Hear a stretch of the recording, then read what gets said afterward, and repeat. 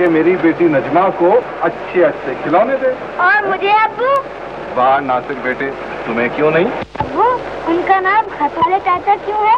अरे भाई ये तो तुम अपनी बहन से पूछो। जब से उनका ये खत आया है इसने उनका नाम खत वाले चाचा रख लिया। मैं अपने चाचा का खत अपने पास रख लूँ। अच्छा बेटे रख।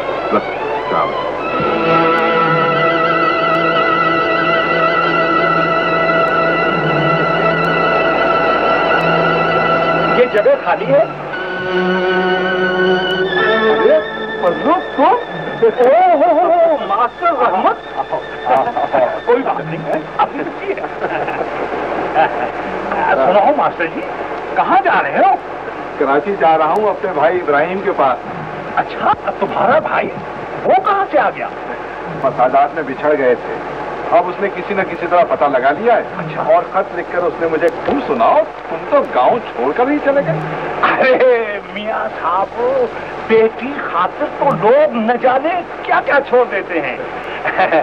अब तो मैंने ऐसा कारोबार शुरू किया है कि जो सुनता है तड़प कर रह जाता है। तो फिर हमें भी तड़पाओ। घबराओ मत मास्टर जी। शायद अल्लाह मियाँ ने इसीलिए मिलवाया है हाँ मास्टर जी तुम्हारे दो ही बच्चे हैं और वो छोटा है। ऐसा न कहो अल्लाह मेरे इकबाल को ज़िंदा रखे। अच्छा। हाँ माँ के मरने के बाद बहन उसे मांग कर ले गई थी। वो कराची में रहती है उसी के पास पड़ता है। अच्छा। और वहाँ एक मिस्त्री के पास मोटर मैकेनिक का काम सीख रहा है। Motor mechanic? अच्छा काम है अच्छा काम है तरक्की से डाले नट ठीक से कस लीजो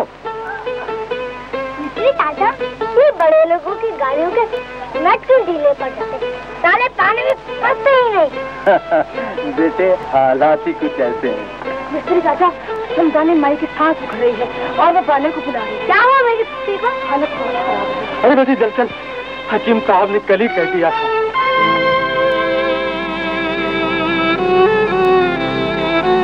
बाजी। मेरा वक्त पूरा हो चुका मिस्त्री भाई। मेरे मरने के बाद इकबाल को उसके बाप मास्टर रहे। इकबाल को एक, इसके बाप के पास पहुँचा।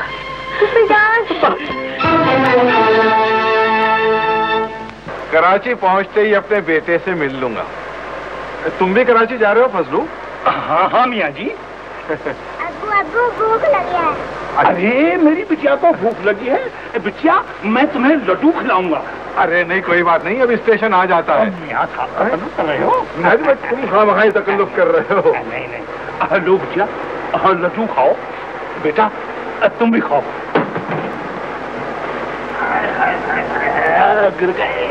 अरे ये तुम्हारे हाथ को क्या हुआ फजलू? क्या बताऊँ मास्टर जी लोगों को हाथ दिखाते दिखाते खुद अपने साथ हाथ हो गया।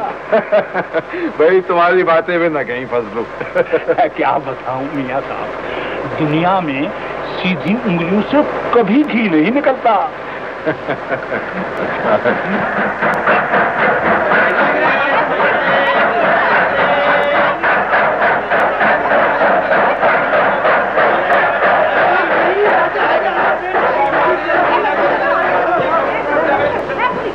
अब्बू अब्बू आ गया। हाँ हाँ बेटे अभी तुम्हें ढेर सारी चीज़ें दिला देते हैं। आओ हैं? अब्बू मुझे चक्कर आ रहे हैं। भूख से आ गए होंगे। लड्डू खाओ। बात नहीं अब खाओ लड्डू हाँ, बेटे। हाँ। हैं? बिटिया को सोने दो। मैं तो बैठा हूँ? अच्छा। हाँ हाँ। अच्छा अच्छा। आओ बेटे आओ।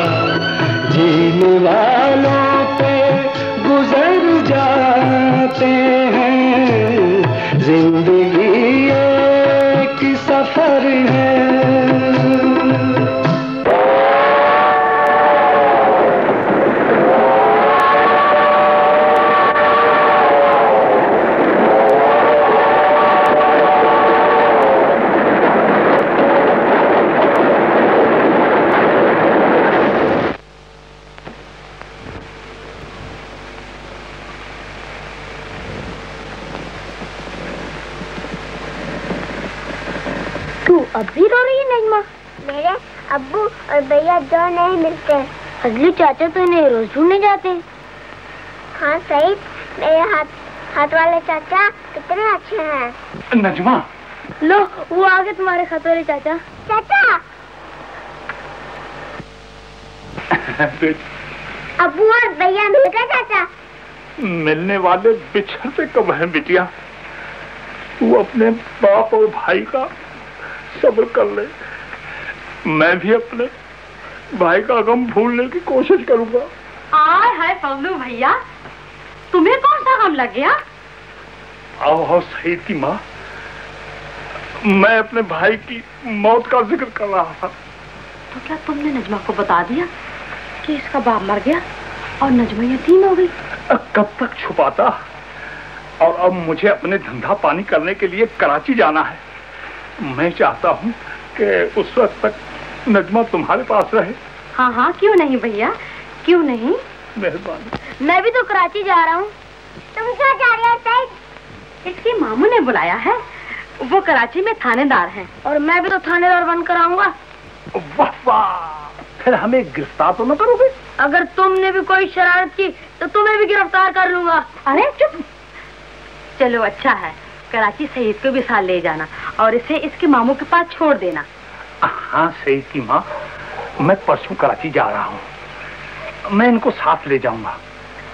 लेकिन मेरी गैर मौजूदगी में मेरी नजमा बिटिया का ख्याल रखना। हाँ हाँ क्यों नहीं?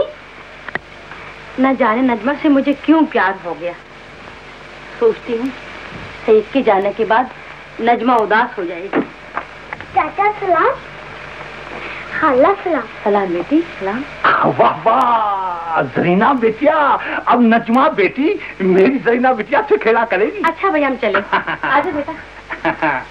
सलाम। सलाम बाजी। सलाम।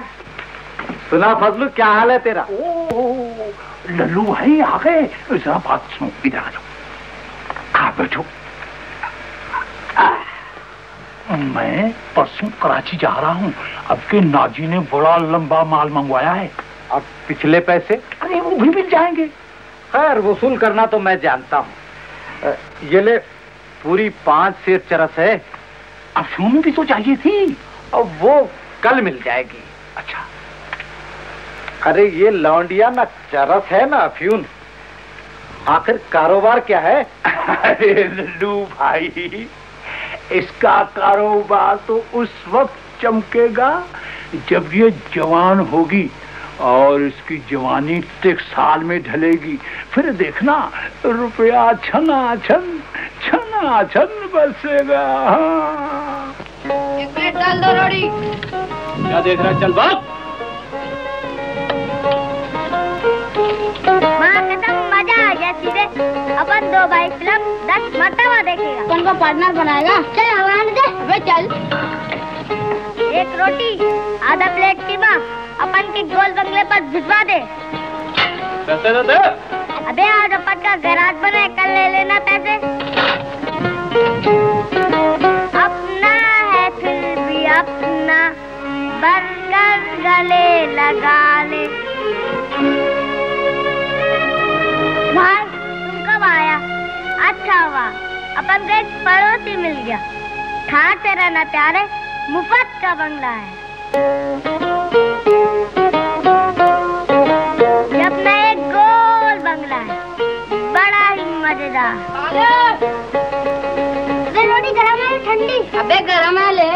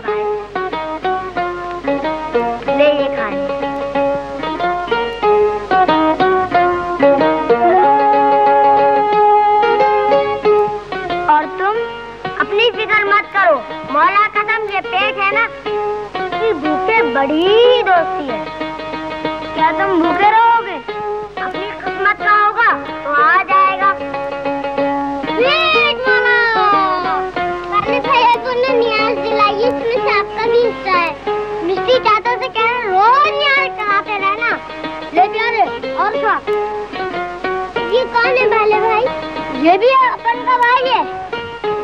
ये तगली अपन की बहन है। फिर तूने तगली का अच्छा बाबा रज्जो रज्जो जा पानी लिया।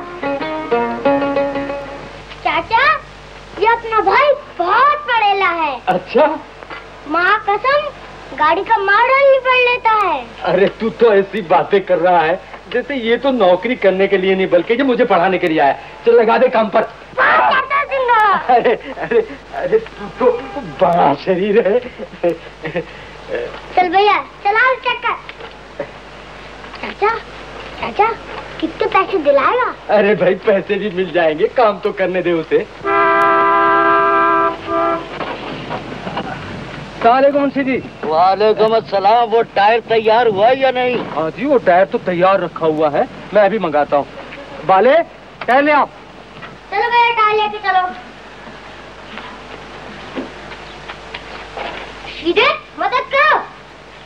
हराम की खाता है? मैं चुप मारूँगा। बड़ा मारने वाला है। संभाल के। भाई टायर में छोटा सा पंचर था। अच्छा। ये किल निकली। अच्छा। संभाल के। अच्छा। जी। मिस्त्री जी। बोलो कितने पैसे हुए? अजी पैसों का क्या है? वो तो इब्राहिम सेठ का हज़ारों का बिल होता है। हाँ, लेकिन अब कितने हुए हैं? अब शायद पिछला और अगला और मिला के बीस हाँ, बीस रुपए। जी इसकी क्या ज़रूरत थी? क्या जल्दी थी? शुक्रिया। चलो भाई ड्राइवर देर हो गई। अच्छा मिस्त्री शुक्रिया मुंशी जी।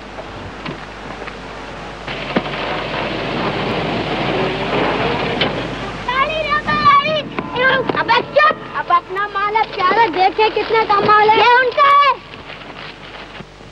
बाले बाले बाले। चल लड़ता है छोड़ अबे मैं भाई को मारता है मैं तेरा बुरका निकाल दूँगा। अरे अरे अरे क्या बात है बाले? क्या बात है? चाचा इसने मेरे भाई को मारा मैं इसका डीजल निकाल दूँगा। अरे क्या बात है भाई? मिस्टर चाचा पहले इसने मेरे को मारा था। चाचा ये बेईमान है बोलता था बोलता था ये पैकेट मुझे दे दो ये पैकेट कहाँ से मिला तुम्हें? गाड़ी से गिरा था। इब्राहिम सेठ की गाड़ी से? हाँ चाचा। शाबाश बेटे। अच्छा बेटे ये ले, इब्राहिम सेठ के घर पहुँचा दे। ये पैसे ले बस के।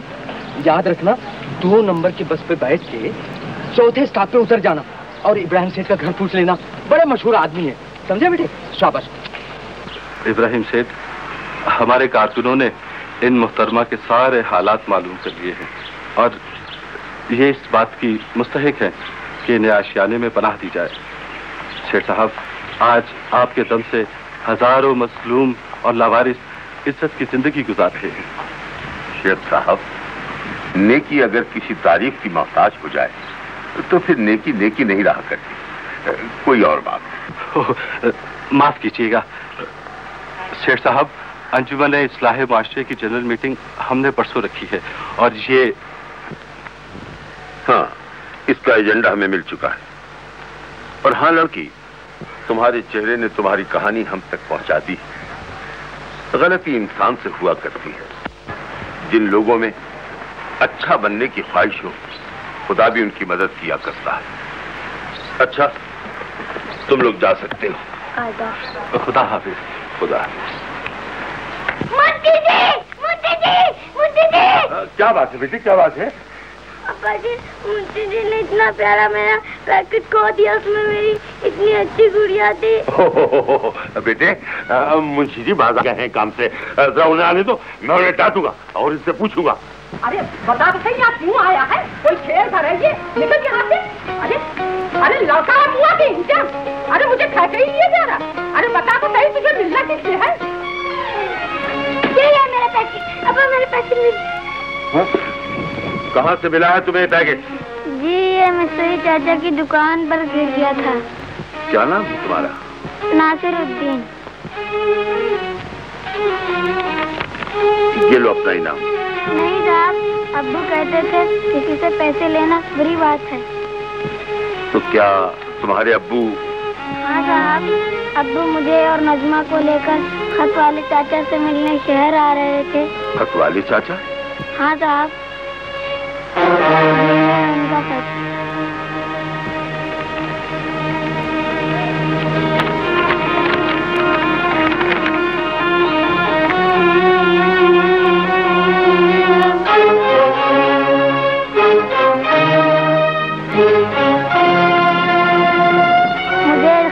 चाचा के पास पहुँचा दीजिए साहब।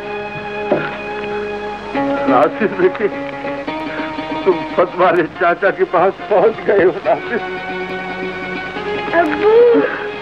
हाँ बेटी।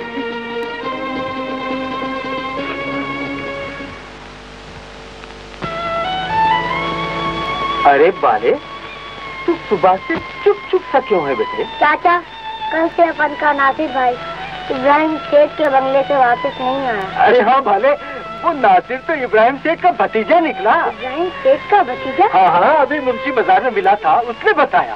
वाह रे नीली छतरी वाले। कैसे मिलाता है और कैसे विदा करता है? अरे पन तू क्यों उदास होता है बेटे? चाचा अपन का इस दुनिया में कोई नहीं अरे पगले मैं जो हूँ तेरा चाचा तेरे को टैक्सी ड्राइवर बनाऊँगा और तू बड़ी हाथ से गाड़ी चलाएगा। चाचा बाबा का कुछ पता चला? नहीं बेटे मैं तेरी फुफी के बताए हुए पते पर तेरे बाप मास्टर रहमत से मिलने गया। तो पता चला कि वो बच्चों को लेकर कराची गया है और लौट कर नहीं आया।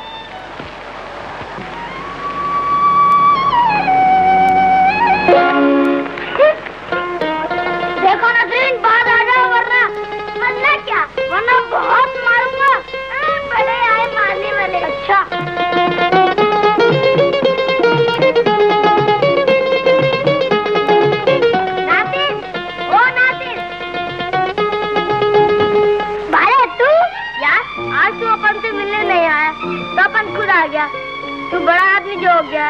गरीब भाई याद नहीं, तू यहाँ क्यों नहीं आ जाता वाले तेरा चाचा अमीर आदमी है, अपना चाचा मिस्त्री है। अपन वहीं ठीक है गोल बंगले में। बस इतना वादा कर कि रोज मिला करेगा। वादा? अच्छा आज आएगा ना यार? रजत की खाला ने न्याज बुलाई। ये कौन है नाची ये मेरा भाई है, बाला। अच्छा अच्छा तुमने मुझे बताया था ना? हाँ। अच्छा यार, खुदा। खुदा। अबे गले तो की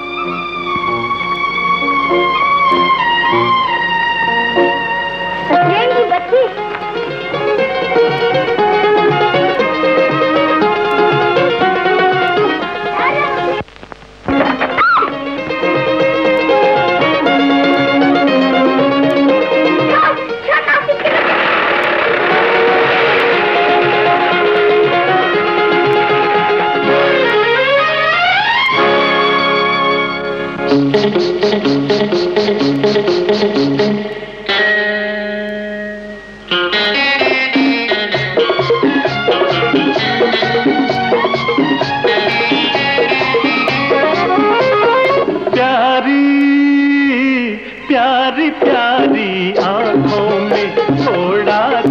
गजब तो होता है, होते हैं नाराज़ हँसी, पर कोई सबक तो होता है, प्यारी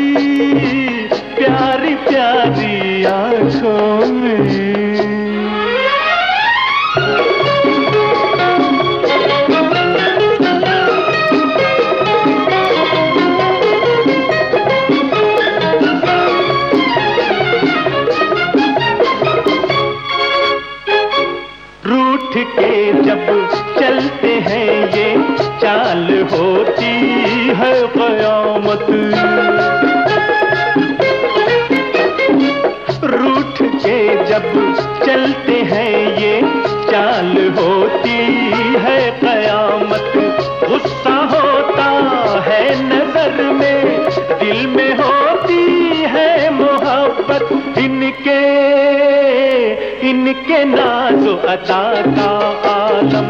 प्यार तलब तो होता है। होते हैं नाराज़ हँसी, पर कोई सबब तो है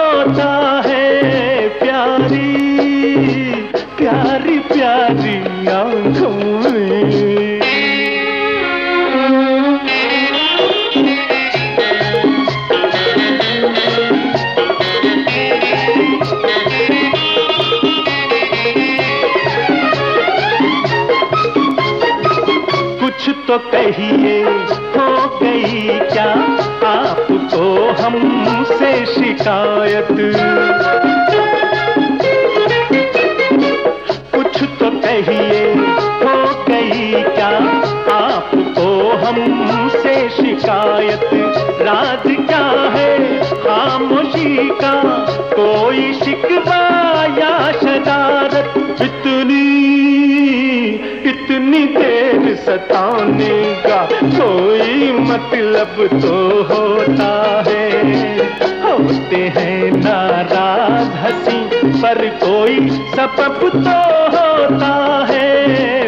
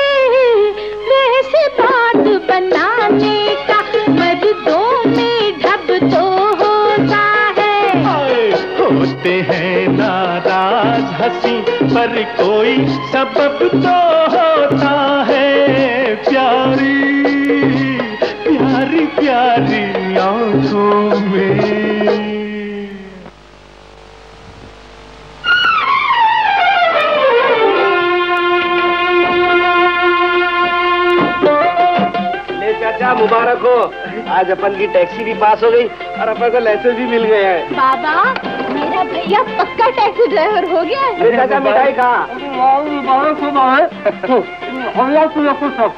मौला ने ये दिन तेरे दम से दिखाया चाचा। चल रजो बैठ जा वापस। अरे इसे कहाँ ले जा रहा अरे चाचा अपन की टैक्सी में सब में पहले अपन की बहन बैठेगी। आज अपन इसको सारे शहर का चक्कर दिलाएगा। समझा तू मिठाई का चाचा? इलाही। शुक्र है तेरा या अल्लाह?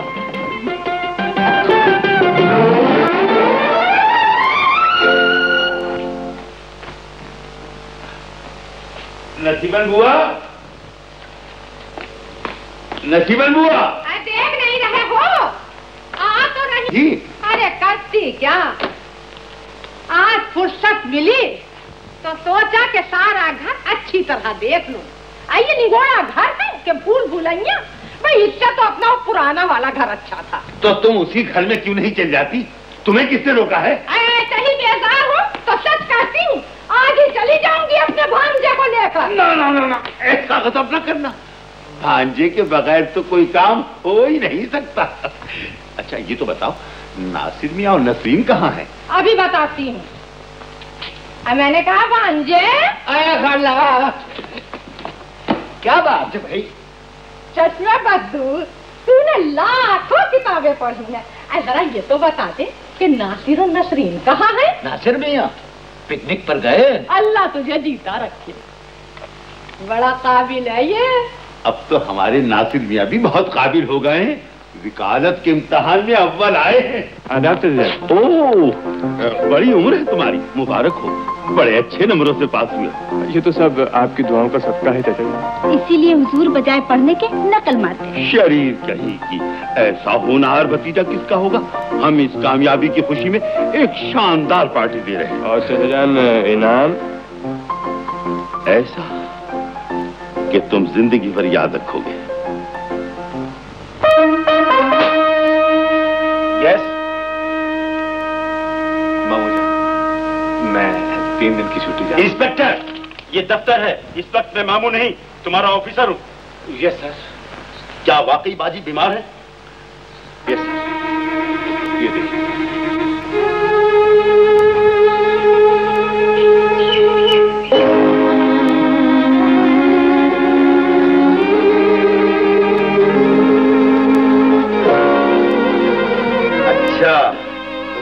माँ बीमार है।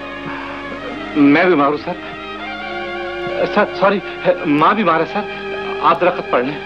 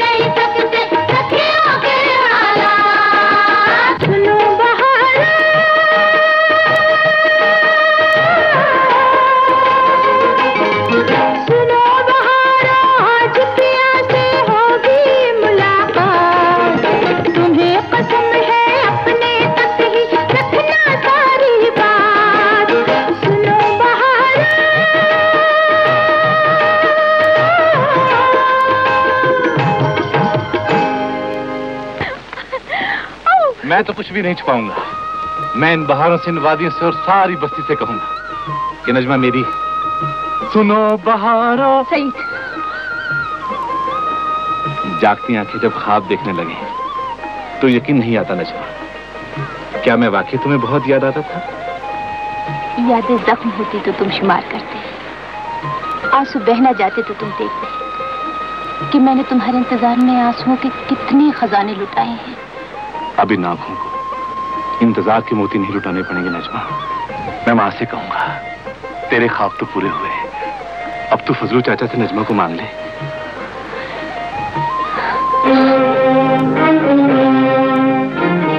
फजलू चाचा।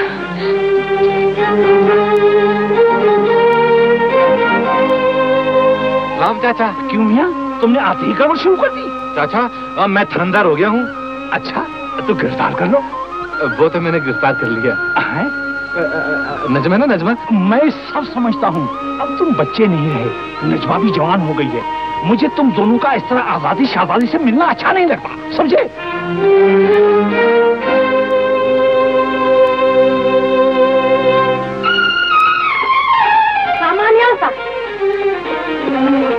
आ गया मेरा लाल अल्लाह नज़र बद से बचाए। कितना इंतज़ार करवाया अपनी माँ को। अरे तू चुप क्यों? अंदर आओ माँ। एक ज़रूरी बात करनी है। आखिर तू तो कहना क्या चाहता है? अब बैठ तो सही सुन। यार वो यमराज सईद है ना? उसने नजमा को चक्कर देना शुरू कर दिया है। सोचता हूँ कहीं मेरी मेहनत पर पानी न फिर जाए। तो फिर तूने क्या सोचा? मैं नजमा को कराची ले जा रहा हूँ। सौदा करने जा रहा है। अरे यार तुझे तो सब कुछ मालूम है। और मेरे पैसे? नजमा का सौदा हो जाए तो तुझे तेरे पैसों से ज़्यादा दूँगा। देख फजलू मेरे पैसे मारने की कोशिश की तो अरे तेरे पैसे कौन मारता है? खैर मेरे पैसे मारने वाला तो पैदा ही नहीं हुआ। लेकिन तेरा सौदा मारने वाला पैदा हो गया सोचने की बात है। उदास क्यों होती हो? अब के गाँव आऊँगा तो इन हाथों में मेहंदी रचाकर ही जाऊँगा। हाँ हाँ दो चार रोज में माँ चाचा फजूल से बात करने वाली है। तुम्हारे शहर जाने से मुझे डर सा लगता है। अरे तुम्हारी आँखों में आँसू? मुझे मुस्कुरा कर रुखसत करो।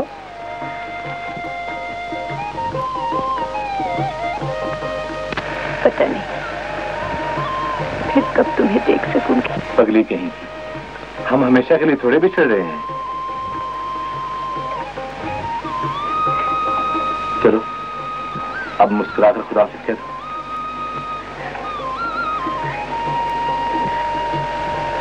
खुदा हाफिज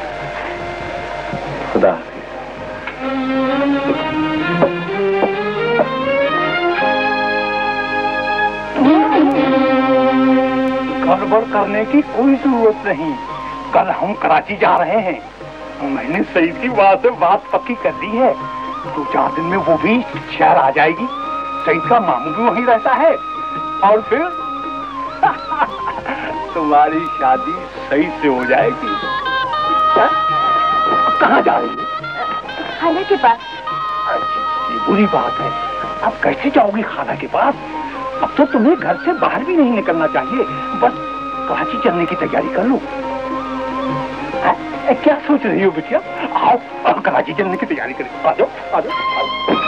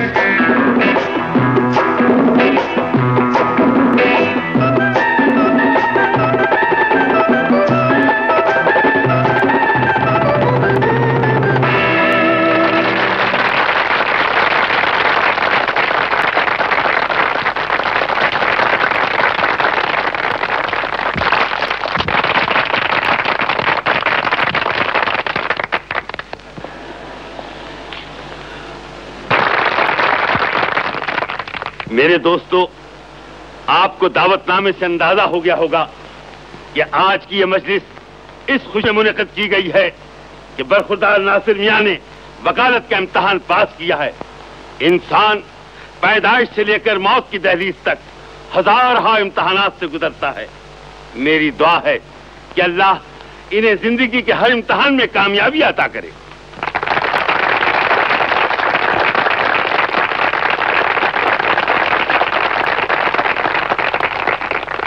मौला कसम आज अपन बहुत खुश है। आज अपना भाई एकदम पड़ेला हो गया है। क्यों सेठ चाचा? अरे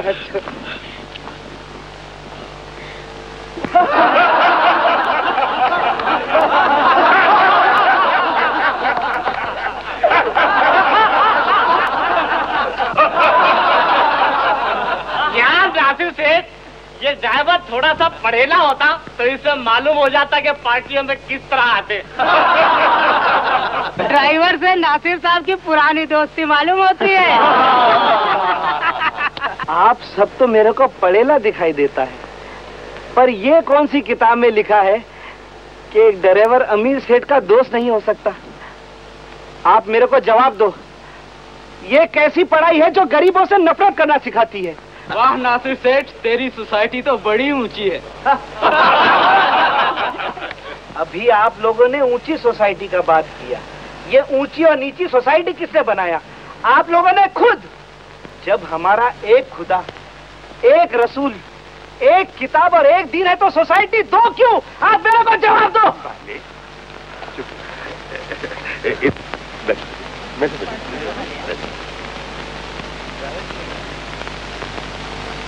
मेरे अज़ीज़ दोस्त, मुमकिन है मेरे दोस्त सोसाइटी क्या है? दोस्ती किसे कहते हैं? अगर मैंने ये तकरीर शुरू कर दी तो आपकी शाम खराब हो जाएगी। इस मौके पर मुझे एक शायर की नज्म याद आई। इजाज़त हो तो सुनाओ।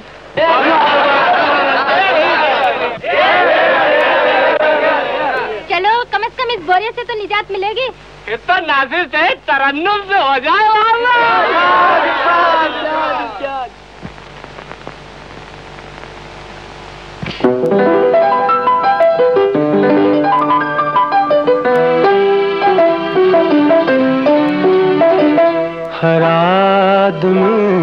अलग सही, मगर उमंग एक है।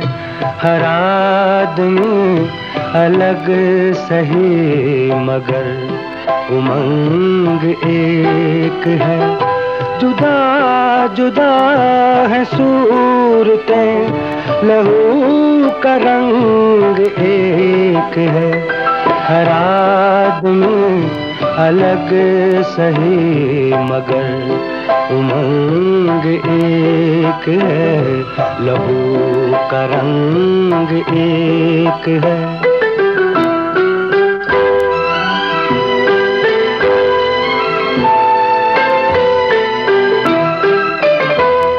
तुम्हें जो ये लिबास है बहुत अज़ीज़ दोस्तों, हकीकतों को ढांपने की है ये चीज़ दोस्तों, यहाँ बगल न हर किसी का नाम नंग एक है। हर आदमी अलग सही मगर उमंग एक है, लहू का रंग एक है।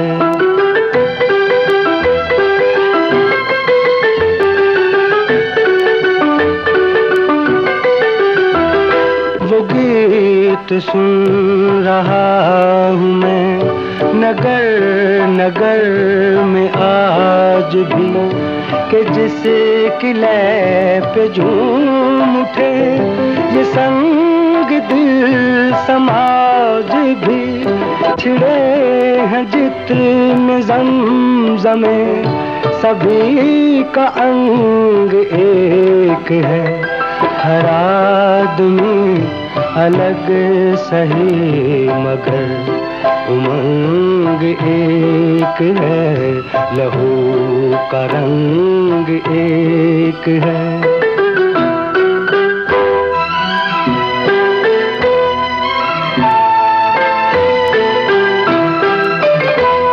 बनी हसार सारी कायनात प्यार के खमीर से न आए गर तुम्हें यकीन तो पूछ लो जमीर से, जमीर की हर एक सदा का रंग ढंग एक है।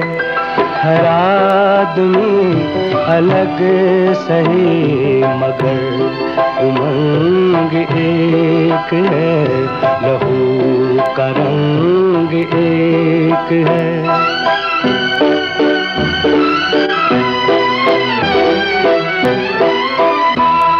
यहाँ हर एक शख्स का बुलंद तर मकाम हो मिटे दिलों से नफरतें सभी का एहतराम इसे तराम के लिए हमारी जंग एक है।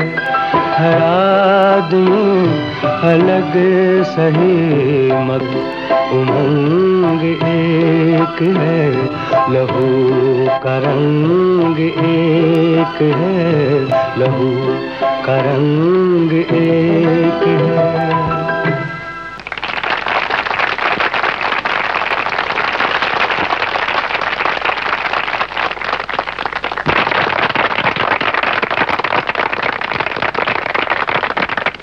मेरे दोस्तों, आज की ये तकरीब एक फन दो काज की हैसियत रखती है।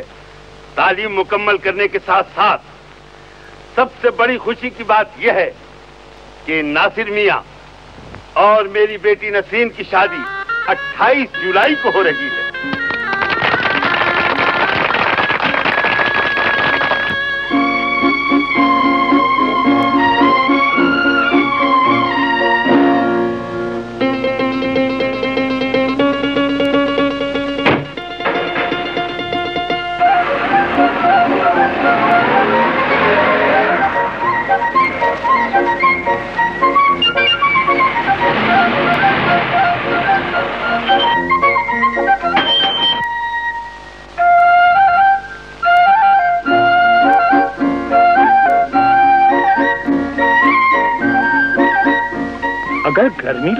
तो निकाब उठा लो। कहाँ जाना है चाचा? आ, हम लोग तो नए नए आए हैं इस शहर में। अगर कोई किराए का मकान शकान मिल जाए तो मेजबानी होगी। अब कोई फ्लैट मिलैट चाहिए तो अपन सेठ इब्राहिम का फ्लैट दिला सकता है। वहाँ लोग कैसे रहते हैं? अरे कमाल है चाचा। अपन आप जैसे शरीफ लोगों को कोई बदमाश के मोहल्ले में थोड़ी ले जाएगा। सेठ इब्राहिम के किराएदार बड़े शरीफ हैं। फिर तो यहाँ भी शराफत की इंतहाई है। चलो। तो चलो। हाँ।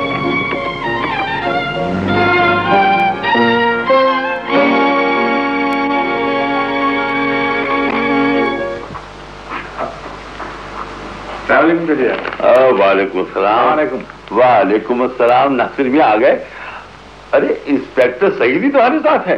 ज़रूर आज कोई केस फंस गया होगा। की तफ्तीश इतनी मुकम्मल होती है कि केस जीतने के लिए कुछ भी नहीं करना पड़ता। क्यों शर्मिंदा करते हो यार? मैं अपना काम फ़र्स्ट समझ कर करता हूँ। जब कानून और पुलिस में ऐसी अंडरस्टैंडिंग हो तो फिर मुझे बचकर कहा जा सकता है। अच्छा मैं तो चलूँ। मुझे तो एक ज़रूरी काम से जाना है। बैठो। आज के जीतने की खुशी में तुम्हारी खातिर कर डालें। वो किस तरह? चाय से और किस तरह? हाय सिर्फ़ चाय से? बस। हम्म।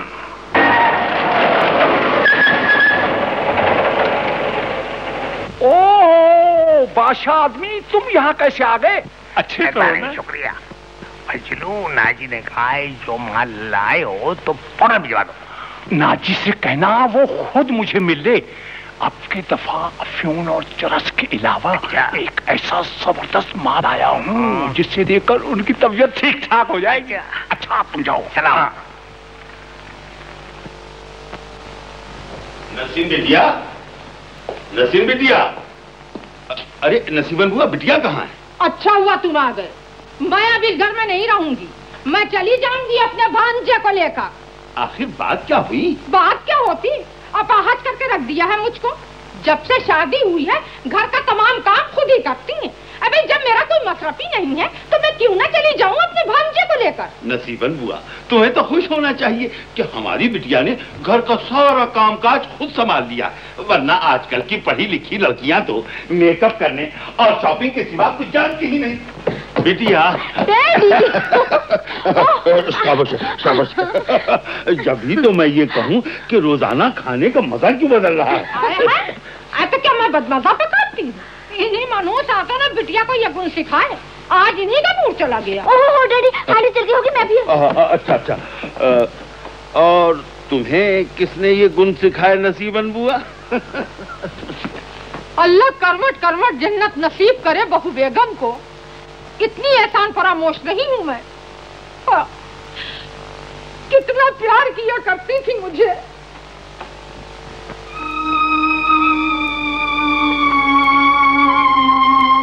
बात कहूँ सरकार। हम्म कहो। आप शादी कर लें। हम शादी कर लें? किताबों में यही लिखा है सरकार। क्या तुमने हमारे लिए कोई दुल्हन तलाश की है? आप इकरार तो करें सरकार। लड़कियों की क्या कमी है? हमारी इस बाली उमरिया में तुमने कैसा अच्छा मशवरा दिया है हमें।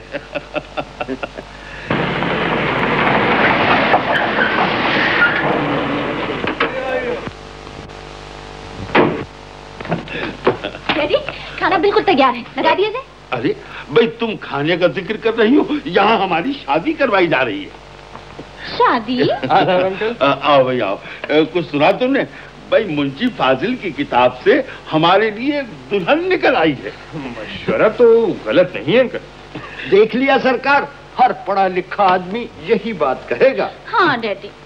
हमारा भी तो जी चाहता है कि हम किसी को अम्मी कहें हाय तुम भी इनके कोरस में शामिल हो हाय हाय आई इस उम्र में शादी आज तो क्या बूढ़े मुँह वहाँ से निकलवाओगे आए खबरदार हमारे अंकल को बूढ़ा ना कहना हाँ मैं अंकल शंकल कुछ नहीं जानती चलो खाना खा लो भैया हमारी बुआ भी चींटियों भरा कबाब है तो फिर अंकल क्या ख्याल देखो भाई हमें ज़्यादा मजबूर करोगे तो हम सचमुच में शादी कर देंगे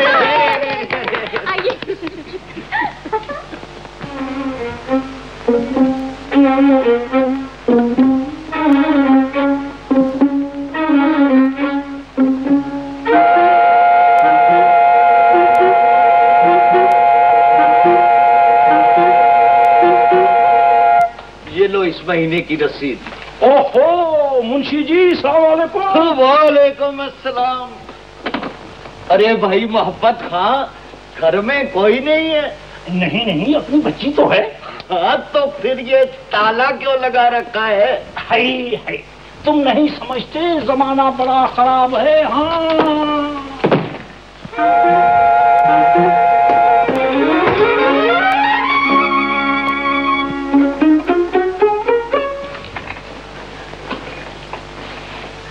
चाचा सईद का कुछ पता चला? इन पुलिस वालों का क्या है? जहाँ मुजरिम वहाँ ये सुना है कोस्टर गया हुआ है। और फिर अभी तक उसकी माँ भी गाँव से नहीं आई। मेरा ख्याल है दोनों माँ बेटों ने हमें चक्कर दिया है। नहीं नहीं चाचा। मेरा सईद ऐसा नहीं हो सकता। तुम मुझे वापस गाँव ले चलो। गाँव जाकर क्या करेगी? ये बड़ा शहर है। यहाँ बड़े लखापति लोग रहते हैं।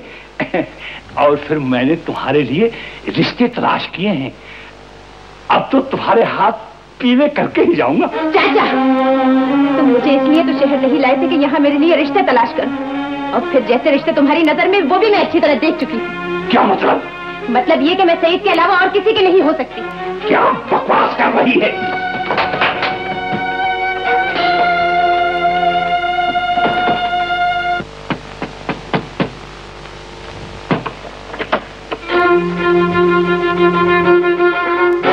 जी कौन? ओ हो हो हो नाजी साहब आइए आइए आइए।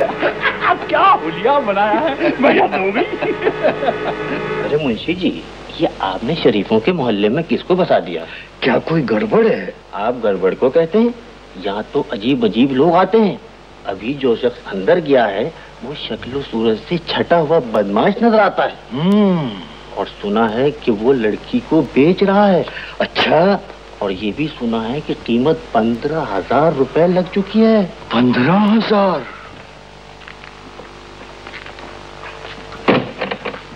हज़ारों की बात करो नाजी हज़ारों की।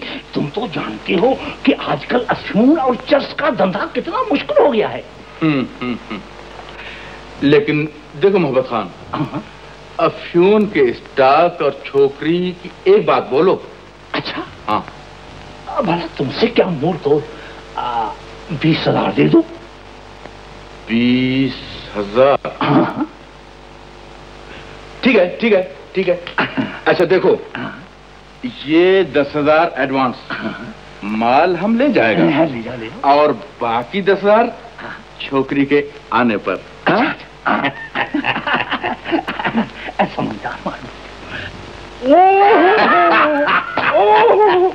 वाह वाह वाह मेहरबानी है है कदरदानी सूरत होगी तो पंद्रह हज़ार तो क्या?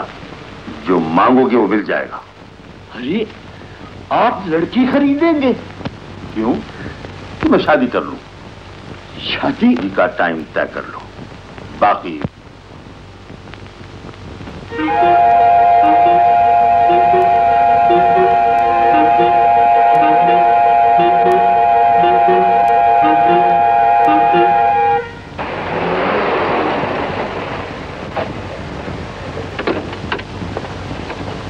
मोहब्बत खान। आज तो लंबा शॉपिंग मारा है। अच्छा? सर आप मेहरबानी करो ये सामान ऊपर तक पहुँचा दो। हाँ हाँ कोई बात नहीं आगे चलो।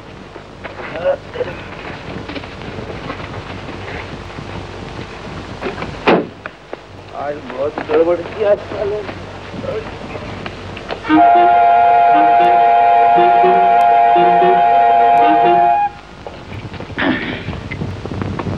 अंदर कोई नहीं है क्या?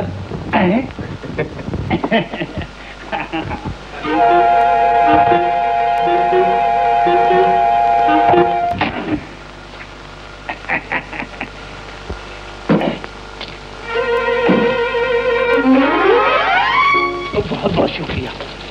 शुक्रिया।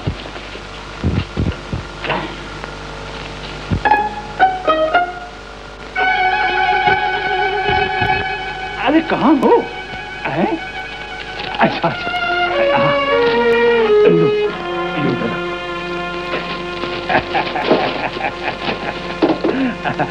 जरा। बन संवर कर तैयार हो जाओ। और देखो कितनी महँगी साड़ी लाया हूँ, तुम्हारे लिए। मेरी गैरत की लाश पर ये कफन डालना चाहते हो? ले जाओ इसे। मैं नहीं पहनूँगी। अरे ये क्या गजब कर रही हूँ? सेठ इब्राहिम लखावती आदमी है। एकदम ठीक ठाक कर रहेगा हाँ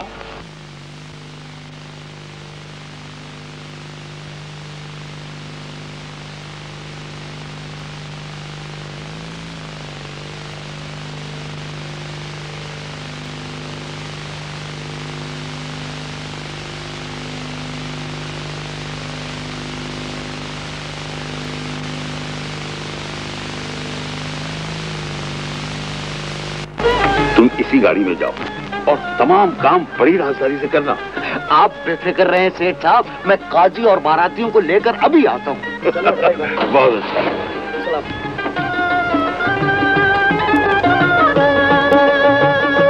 बकवास बंद करो। मैं जो कुछ कर रहा हूँ ठीक कर रहा हूँ। अब वही होगा जो मैं चाहूँगा। लो इसे पहन लो। अब जो मैं चाहूँगा वही होगा। यार मोहब्बत खान अरे भाई हाँ हाँ आया आया। अपनी छुट्टी कर दो ना यार झगड़ा फिर कर लेना। आ, क्या कितनी पैसे हुई जो मर्ज़ी है दे दो। अच्छा? लो ये पाँच रुपए। सलाम चाचा से। तुम यहाँ? एक पैसेंजर को लेके आए थे। अच्छा अच्छा। चला।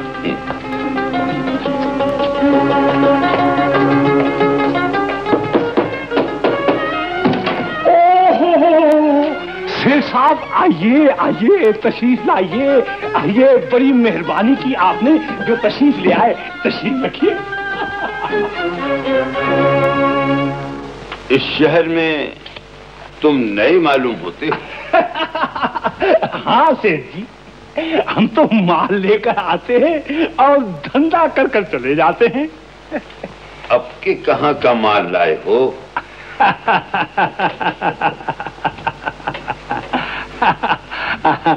जरा रंग में आ जाइए फिर बताऊँगा। अच्छा तो तुम्हें हमारे हर ऐप का पता है?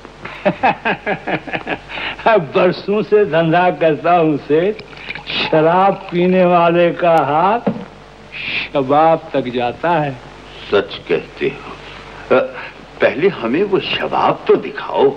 फिर हम इस अंगूर की बेटी से भी रिश्ता कर लेंगे। अच्छा? आइए आइए आइए। आइए।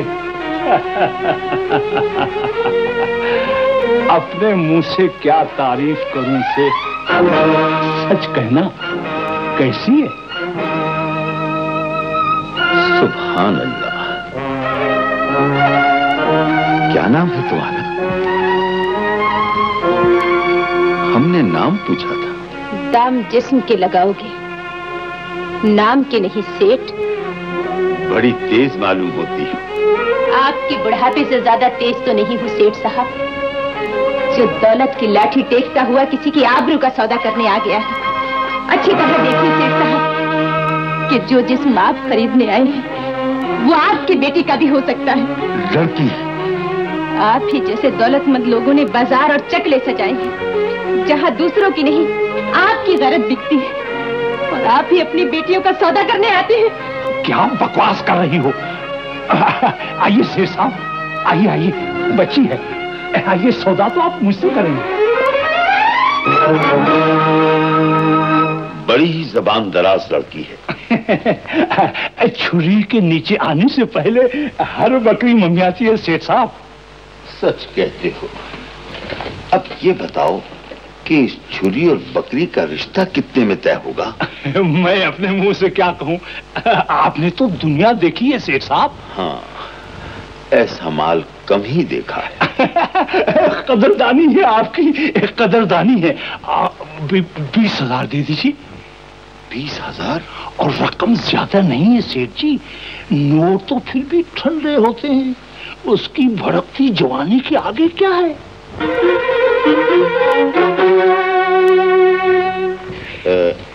पंद्रह हज़ार में तय कर लो। सेठ बहादुर हमारी खातिर। आपकी शराफत की खातिर। मैं क्या जबान खोल? लो तो नोट गिन लो।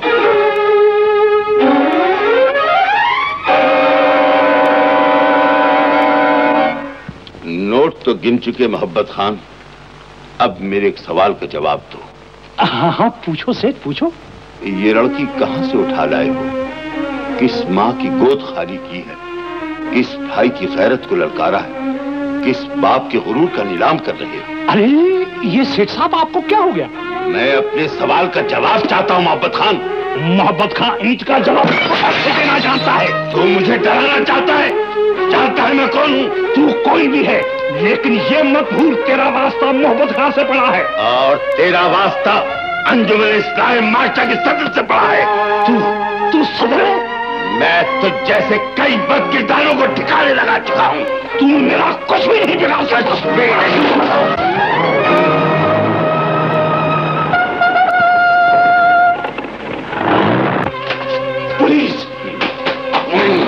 अपने अंजाम के लिए तैयार हो जा।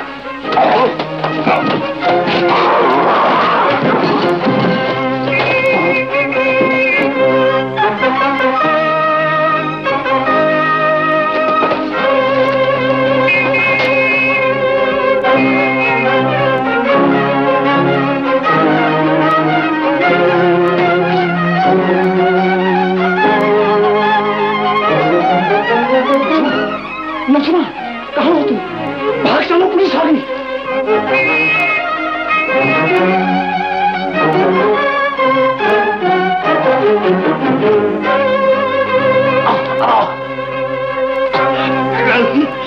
मेरे पास आ।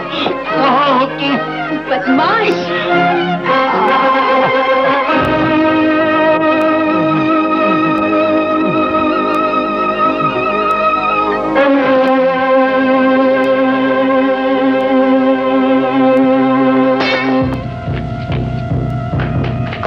सर देखिए यह है फ्लैट नंबर दस सर।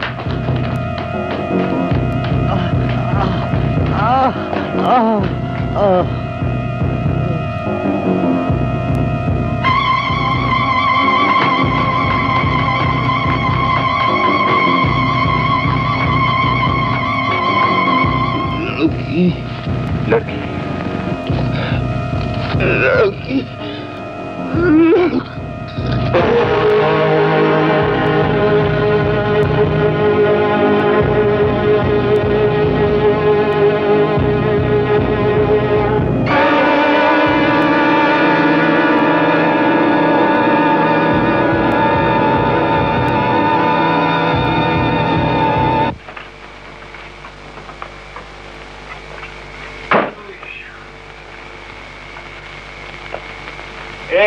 गरम चाय निकाल पिया रे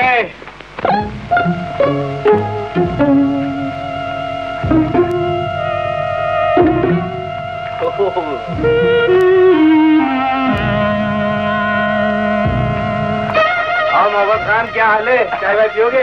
शुक्रिया शुक्रिया बहुत जल्दी। आओ मैं बाप चाय मारो। चाय वाय नहीं चलेगा। टैक्सी रास्ते में खड़ी करते हो। यार हटा दे तो जरा चाय पीने दे। चलो टैक्सी निकालो।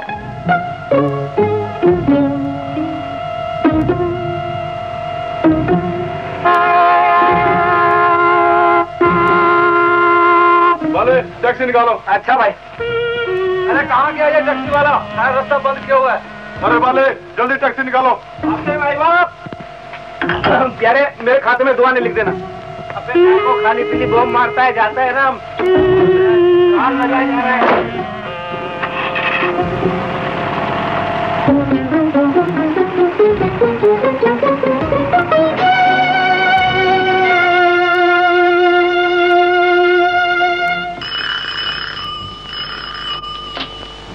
हेलो। हाँ। कौन सईद? क्या कहा? चाचा जान का कत्ल हो गया। कैसे? कब?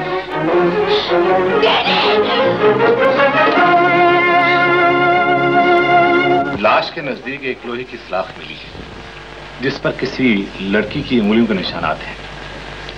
पोस्टमार्टम की रिपोर्ट से क्या ज़ाहिर होता है? रिपोर्ट से पता चलता है कि कातला ने लोहे की सलाख से मकतूल के जिस्म पर दो जरबे लगाई। एक शाने पर और एक सर पर। लड़की का कुछ पता चला? फ्लैट के नज़दीक पान वाले का कहना है कि उसने एक लड़की को भागते देखा था। और हाँ करीब ही एक टैक्सी खड़ी थी। उसका नंबर नोट कर लिया गया है। और अब मैं उस टैक्सी ड्राइवर की तलाश में जा रहा हूँ। खुदा हाफिज खुदा हाफिज। मेरा इस दुनिया में कोई नहीं। आज के बाद ऐसी बात नहीं करना बहन। यूँ समझ ले, तेरे को बाला नहीं, एक भाई मिल गया है। आज से तू मेरी बहन और मैं तेरा भाई। माँ, कसम, आज मैं बहुत खुश हूँ। मेरी अकेली कोठरी बहन के बगैर उदास थी। लेकिन अपनी किस्मत भी बस यूँ ही है।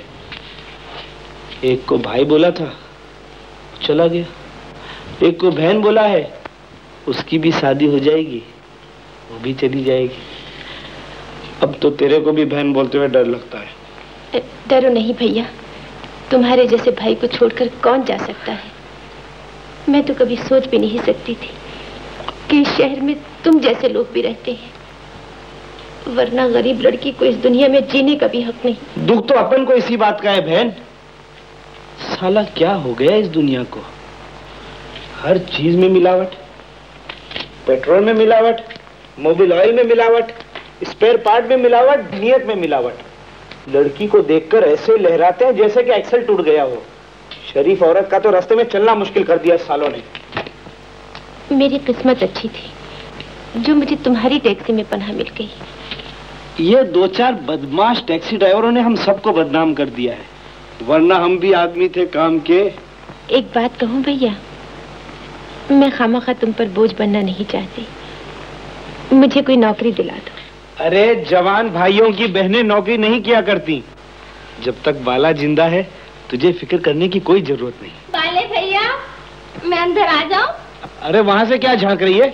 आजा अंदर आजा। पगली कहीं की। पगली। सीधा बोल रहा था कि तुम्हारे यहाँ नए मेहमान आए हैं इसलिए मैंने सोचा तमीज से अंदर जाऊँ पूछ कर अरे ये मेहमान थोड़ी है।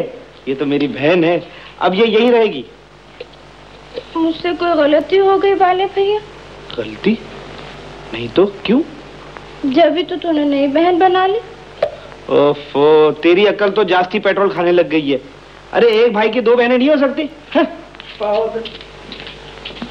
अगर तुम्हें मेरा आना अच्छा नहीं लगा तो मैं चली जाती। नहीं नहीं अच्छा तो लगा पर मैं समझी कि मैं यहाँ खाला के चली गई तो बाले भैया ने मुझसे नाराज़ होकर नई बहन बना ली। मुझे रज्जा कहते हैं। झूठ बोलती है। कोई रज्जो वज्जो नहीं मैं तो इसे पगली कहता हूँ। अच्छा पगली मैं तो नाने चला। कई दफ़ा कहा मुझे पगली मत कहा अच्छा पगली पगली नहीं कहूँगा। बड़े है ना इसलिए लिहाज करती हूँ। अब्बा कहते हैं बड़े भाई की इज़्ज़त करनी चाहिए। कितने अच्छे आदमी हैं बाले भैया। कोई अच्छे बच्चे नहीं। हर वक्त मुझे छेड़ते रहते हैं। हाँ।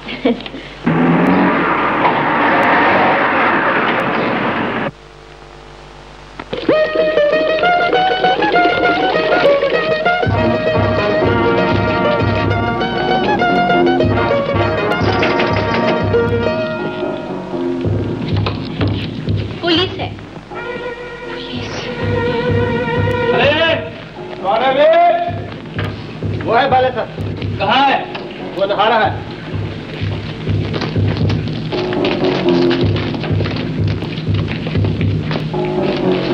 ये पुलिस यहाँ क्यों आई? इस बस्ती में तो आती रहती है बाजी। बाला तुम्हारा नाम है? क्या बात है? फिर कोई चला ना गया क्या? सिग्नल तोड़ने का पैसेंजर जाती बिठाने का गलत पार्किंग का? बहुत बोलते हो तुम। ओह सलाम साहब माफ़ करना साहब हमने आपको देखा नहीं था। कोई किस्मत? तुमको मालूम है सेठ इब्राहिम कत्ल हो चुका हैं? सुना तो अपन ने भी है साहब और उस दिन तुम उस चाली में भी गए थे? गया तो था। और तुमने सेठ को देखा भी था? अपन झूठ नहीं बोलता साहब। वो नासिर भाई है ना वकील। माँ कसम अपन ने उसको सब कुछ बता दिया था। अपन तो सिर्फ़ पैसेंजर को लेकर उधर गया था। हम्म पैसेंजर को लेकर गया था। अभी चलकर यही बयान डीएसपी साहब के सामने दो। हाँ हाँ चलो साहब। माफ़ करना साहब ऐसा कैसे जा सकता है? आप आगे चलो अपन कपड़ा मपड़ा पहन के आ जाएगा ठीक है जल्दी पहुंचो। अल्लाह किस मुसीबत में फंसा दिया। बाजी पुलिस वाले तो चले गए। सुबह सीधे क्या हो रहा है? अरे कुछ नहीं यार। माले। पुलिस वालों से भी कोई डरता है बाजी? इन लोगों से तो वो डरे जिन्होंने चोरी या कत्ल किया हो। कमाल है। ऐसे ही लोग तो टैक्सी ड्राइवर को बदनाम करते हैं। तूने टैक्सी का तेल पानी चेक किया है? बाटल ही तो तेल लेने आई थी। चल भाग क्या कह रही थी पुलिस वाले? कहना क्या था? वो सेठ इब्राहिम का कत्ल हुआ है ना? उसका पूछ रहे थे। ऐसे घूर घूर के देख रहे थे जैसे कि कातिल को अपन ने घर में छुपाया हुआ है। फिर तुमने क्या जवाब दिया? अपन तो बादशाह आदमी है। अपन ने बोला सिर्फ़ डीएसपी साहब के सामने जवाब देंगे। इसीलिए हम थाने जा रहे हैं।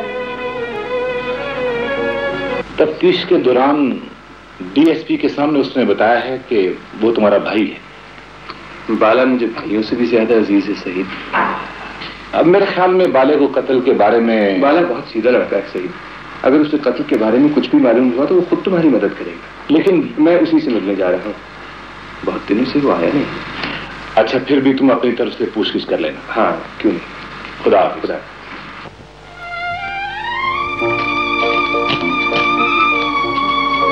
रज्जू अरे ओ रज्जू। जी बात तो जी। ये चाबी बाले भैया को दे देना। मैं गाँव जा रही हूँ बाले भैया से मिले बगैर गाँव चली जाओगी। मैं उन्हें खत लिखूँगी मुझे बहुत ज़रूरी काम है। थोड़ी देर रुक जाओ ना बाजी। बाले भैया थाने तक ही तो गए हैं। हाँ। हाँ हाँ। कोई बात नहीं। उनसे कह देना वो चली गई। अच्छा।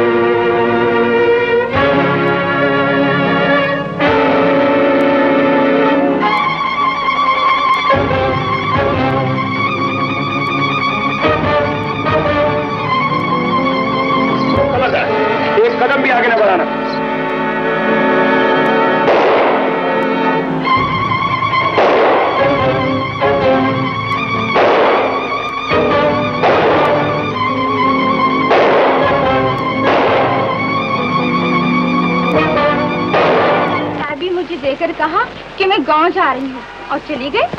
कमाल है। थोड़ा सा इंतज़ार तो किया होता। वाह मौला। अपन को थोड़ी सी खुशी देकर डंडी मार देता है। खैर कोई बात नहीं रज्जो। वो जहाँ भी खुश रहे। नाश्ता लगा दिया है साहब। अरे वाह तुमने तो आईना बना दिया इन्हें। शुक्रिया। बड़ी सीधी लड़की। है और क्या क्या खूबियाँ हैं शक्ल सूरत से किसी अच्छे घर की लगती है। इसीलिए तो नासिर एडवोकेट ने फिल्मी हीरो बनकर गुंडों से छुड़ाया और अच्छे घर में ले आया हम्म? फिर वही शरारत। हमें छेड़ने का भी हक नहीं। अरे हम तो इस किताब की तरह है जिसकी जुमला हकूक महक नसरीन महफूज। अरे आज तो बहुत देर हुई बहुत सारे काम थे।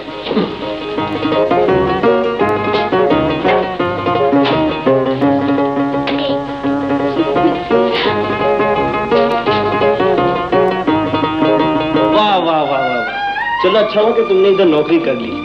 नासिर भी अपने भाइयों जैसा है तुमको कोई तकलीफ़ नहीं हो सकती। अरे बाले क्या हाल है? बहुत बुरा हाल है प्यारे। धंधा पानी एकदम बंद है और सेठ ने टैक्सी भी वापस ले लिया अरे तू लानत भेज सेठ पर यहाँ आ जा मेरे पास खुदा का दिया सब कुछ। ना बाबा अपन हराम की रोटी नहीं खा सकते। अच्छा तू ऐसा कर। आज से मेरी गाड़ी चला ये ले। लेकिन आज नहीं। क्यों? आज अपनी रज्जो की शादी है ना? रज्जू कौन? भूल गया? यार अपनी बहन रज्जो टिंगू जिसे तेरे को एक दिन खाना भी खिलाया था। अरे हाँ याद आया। ये ले। हुँ? ये पाँच सौ रुपये मेरी तरफ़ से रज्जू के लिए। काय को तेरी तरफ़ से? अरे भाई तेरी बहन मेरी बहन नहीं हो सकती। हो तो सकती है। अच्छा प्यारे अपन चले। जरा अपन की बहन का ख्याल करना तू बेफिक्र रहे। नासिर सेठ आज गाड़ी मिल सकती क्या? वो रज्जो को ले जाना है ना? ले। वाह प्यारे तेरा जवाब नहीं।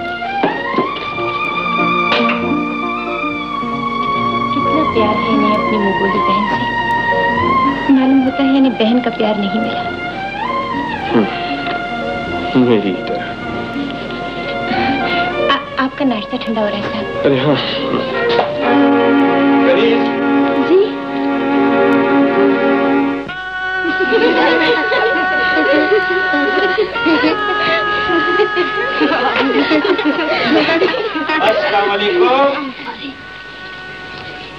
आए। अरे बीबी लोग भाई से क्या पर्दा? तुम सब तो अपनी बहनें बराबर हो।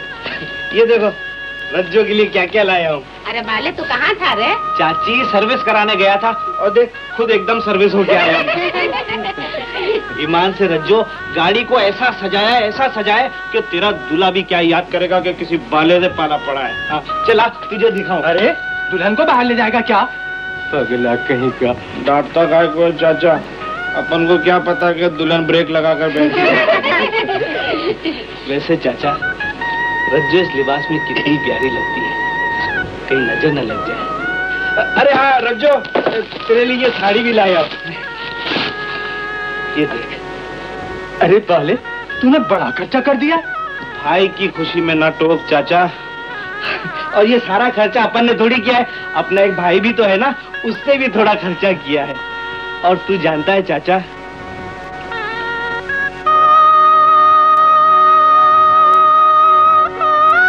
बच्चों का कोई भाई नहीं और अपन की भी कोई बहन नहीं।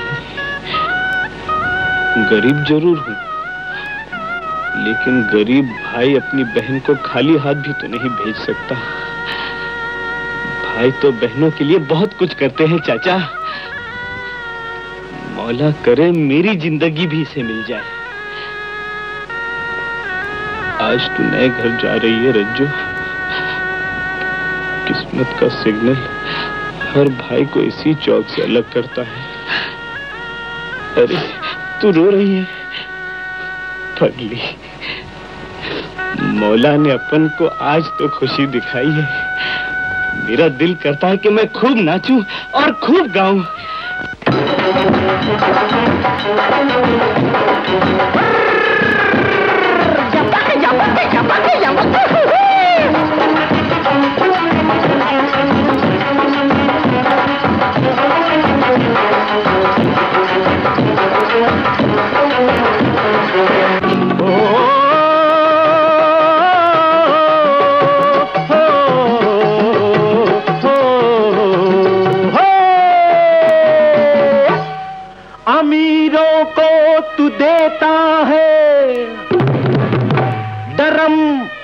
खुशियों के भर भर के हमें देता है खुशी एक एक गैलन करके।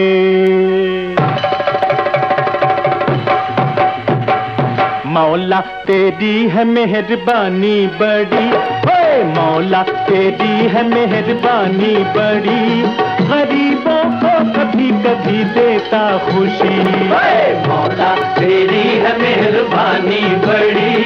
गरीबों को कभी कभी देता खुशी। मौला, तेरी है मेहरबानी बड़ी।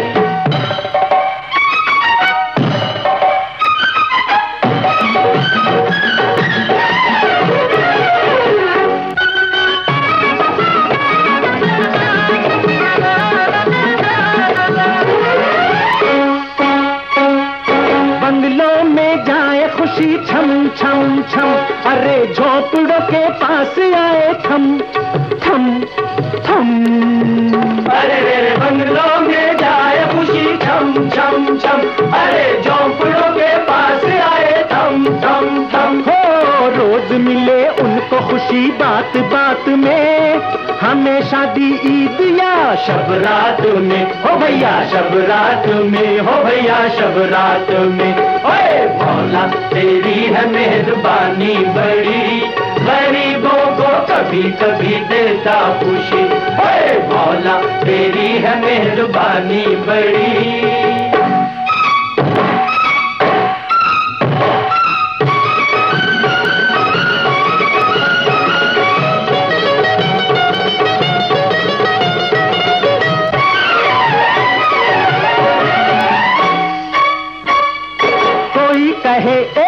कोई ओ टैक्सी हम कहे सबको जी बाबूजी। कोई कहे ए कोई ओ टैक्सी हम कहे सबको जी बाबूजी। हो नरमी भी गर्मी भी कहते हैं हम हर हाल में खुश रहते हैं हम, ओ भैया रहते हैं हम, ओ भैया रहते हैं हम। ओए मौला, तेरी है मेहरबानी बड़ी, गरीबों को कभी कभी देता खुशी। ओए मौला, तेरी है मेहरबानी बड़ी।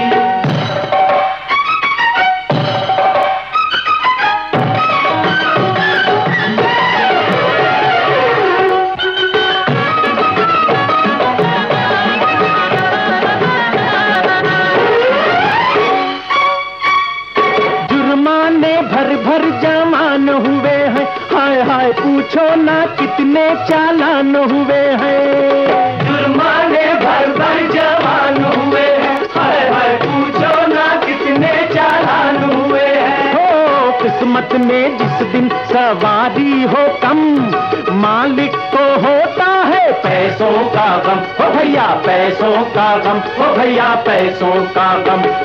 मौला, तेरी है मेहरबानी बड़ी गरीबों को कभी कभी देता खुशी।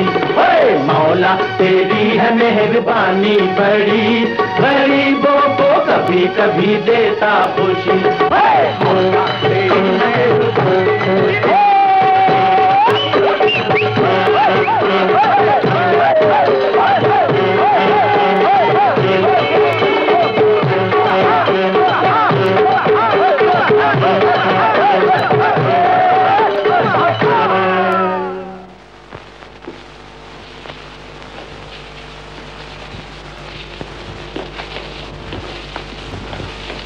गणेश ये तस्वीर वहाँ रख दो। और बेबी को बता देना कि मालिक की तस्वीर बनकर आ गई है। मैं जाता हूँ।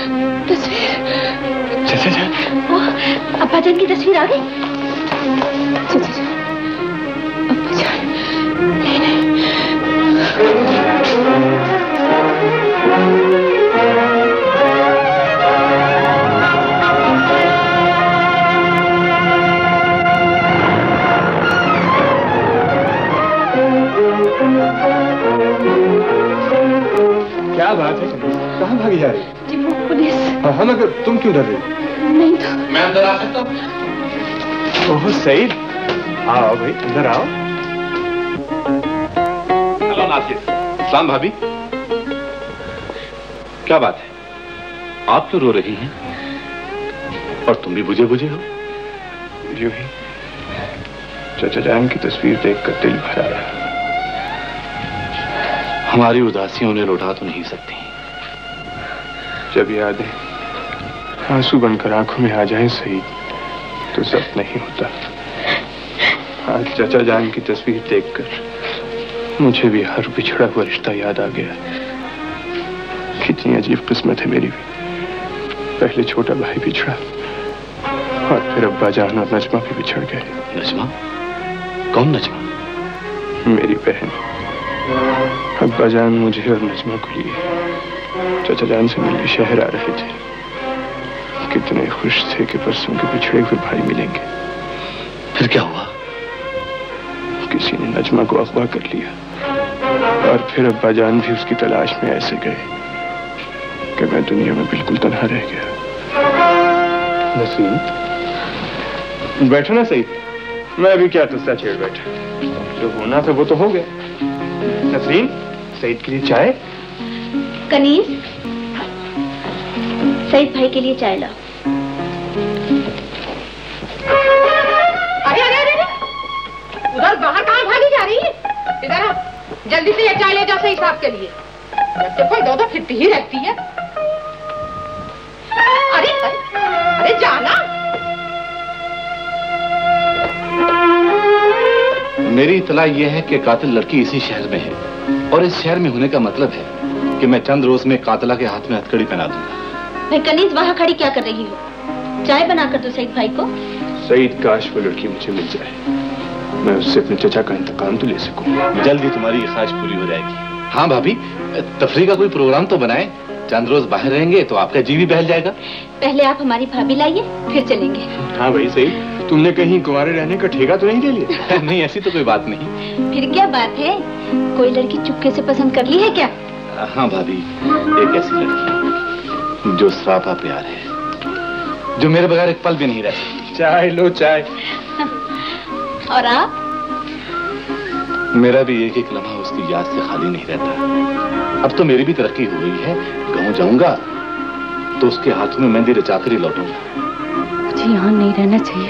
अगर इन लोगों को मालूम हो गया कि मैं अपनी चीजा की कातिल हूँ तो इन्हें मुझसे नफरत हो जाएगी। मुझे यहाँ से चले जाना चाहिए।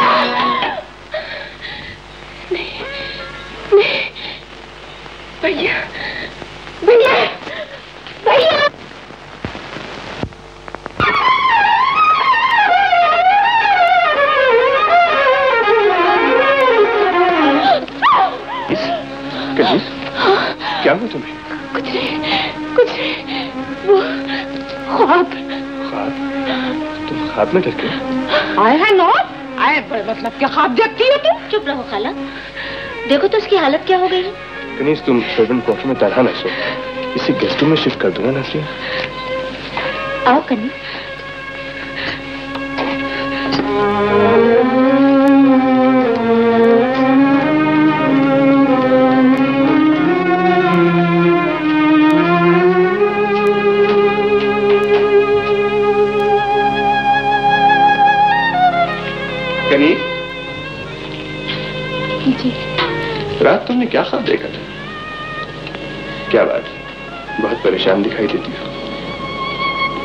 पैदा ही परेशानियों की गोद में हुई साहब तुम्हारा दुनिया में कोई नहीं? है नहीं नहीं। अल्लाह मेरे भाई को सलामत रखे। भाई क्या बदतमीजी? बगैर टटटाए कमरे में क्यों आती हो? आए हैं? आए मुआ ये घर है? या थाना क्या हो रहा हूँ? और तू? तू यहाँ चाय लेकर आई थी या खुसर खुसर करने आई थी चल दबा दो यहाँ। क्या बकवास कर रही हो खाला? को दिखाना? मैं खूब समझती हूँ। हाँ, अभी चली जाऊँगी अपने भांजे को। लेकर खुदा के लिए चुप हो जाओ खाला तुम्हारी जबान है या छापा खाना? क्या बात है खाला? बात क्या? खाला हर वक्त इस बेचारी के बीच पड़ी रहती है। है बड़ी बेचारी। चल चल चल।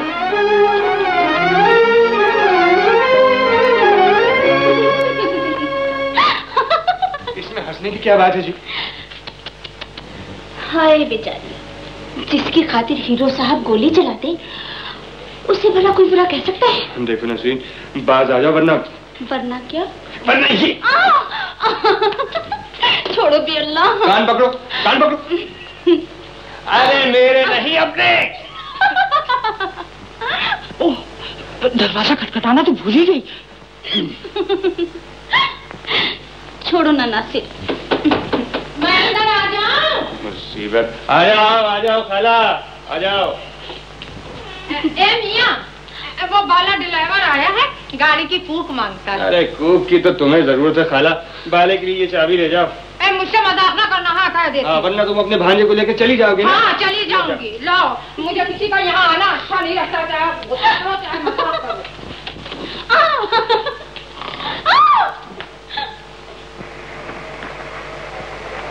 बाबा नजमा कुछ पता चला?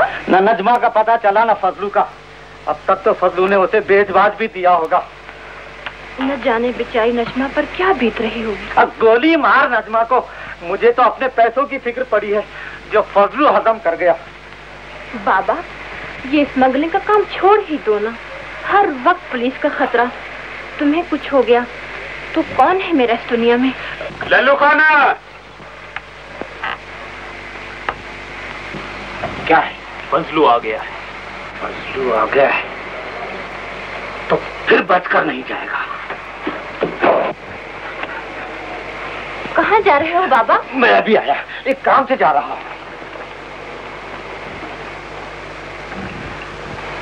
खुदा खैर करे। नजमा की इस हरकत से मुझे बड़ा सदमा हुआ है बेटे। ठीक है माँ। उसे तुमसे मिलकर जाना चाहिए था। आखिर ऐसी कौन सी मजबूरी थी? लल्लू कह रहा था कि फजलू से बहला फुसलाकर शहर ले गया। शहर ले गया? हाँ और ये भी कह रहा था कि नजमा को शहर में किसी के हाथ बेचकर रकम वसूल कर लेगा।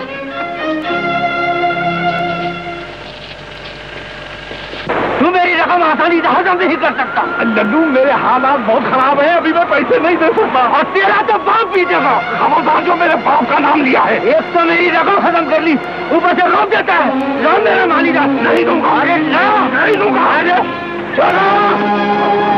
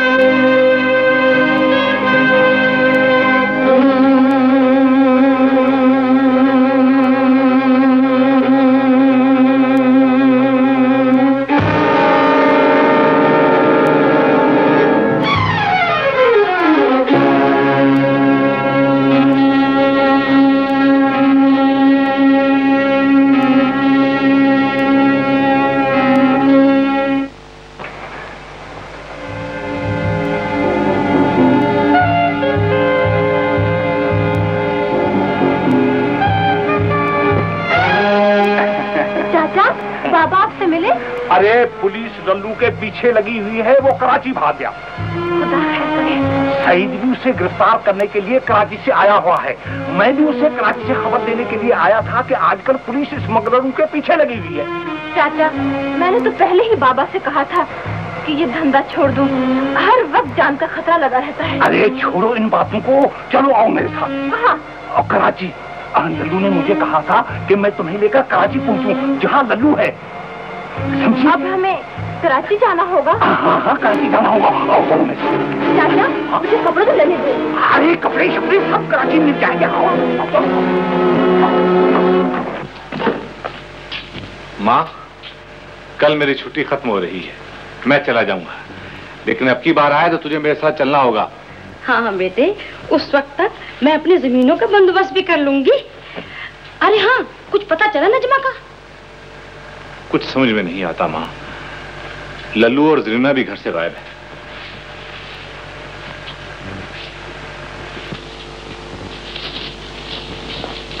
इसमें से नासिर की एक तस्वीर गायब है।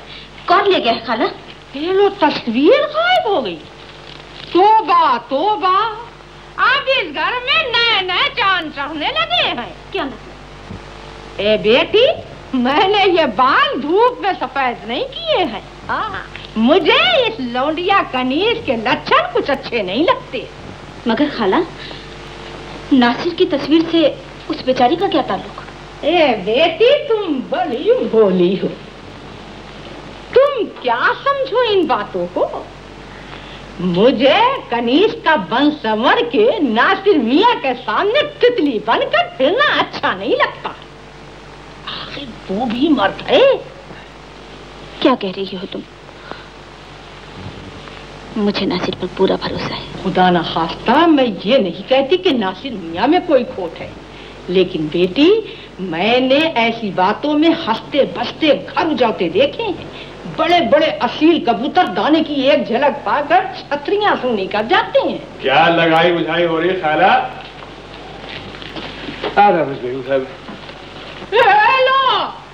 हेलो ऐसे तो जैसे टेलीफोन हो जाता कि नासिर मियाँ आ गए। अरे दिल से दिल को राह होती है खाला शुक्र है तुमने इतराफ तो किया मैं नहीं जानती थी कि ये तुम्हारे काम में इतनी दिलचस्पी क्यों लेती है। अरे तुम्हें बुरा लगता है तो डांट के मना कर देता हूँ। कनीज सुनो। भाई आज से तुम मेरा कोई काम ना किया करो। भाई मैं नहीं चाहता कि तुम्हारी वजह से घर में कोई गड़बड़ अच्छा जी।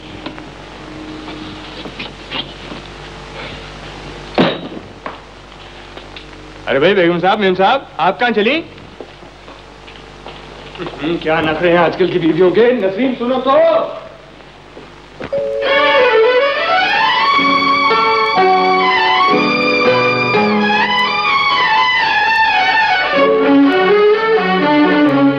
कह रही है जज्बात की झनकार तुझे।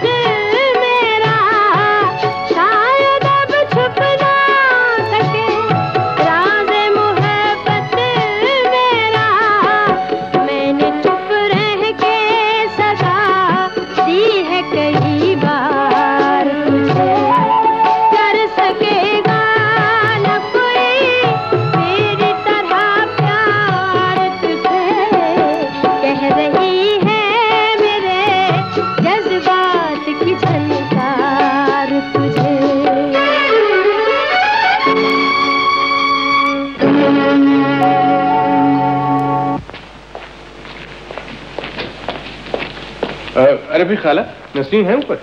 बाज़ार गई है शॉपिंग करने के लिए? अच्छा।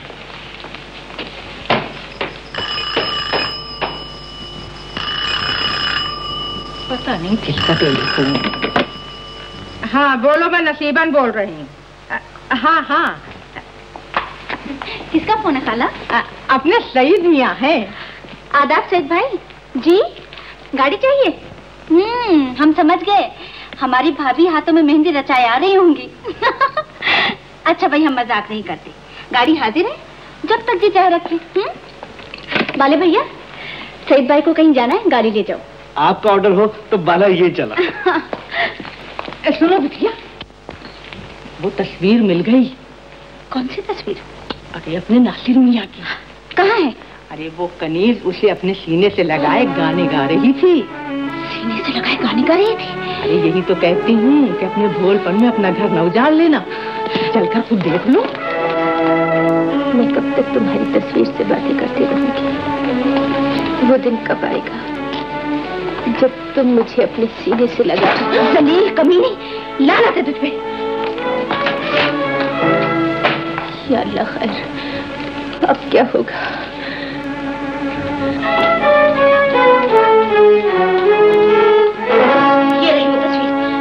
जिसका दूसरा रुख मैंने आज देखा हाँ उस मजलूम कनीस का जो इसे सीने से लगाए तुम्हारी मोहब्बत कदम भर रही थी। और वो इसलिए मजलूम है कि तुम दोनों के दरमियान मैं दीवार बन गई। वो इसलिए इस घर में नौकर बनकर आई थी कि इस घर पर हुकूमत कर सके। क्या कह रही हो तुम? वो बात जो तुम्हारे दिलों का चोर है वो इतनी नमक हलाल है कि मेरे हाथों में चूड़ियाँ और सर पर सुहाग का आंचल भी नहीं देख सकती।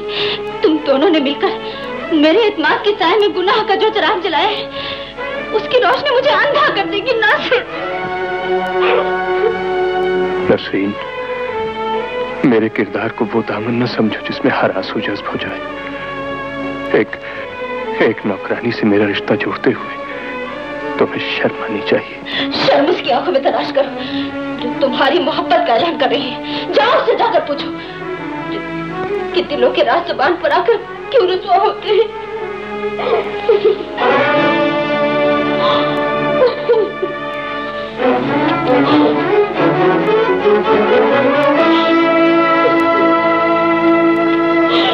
मेरी बच्ची।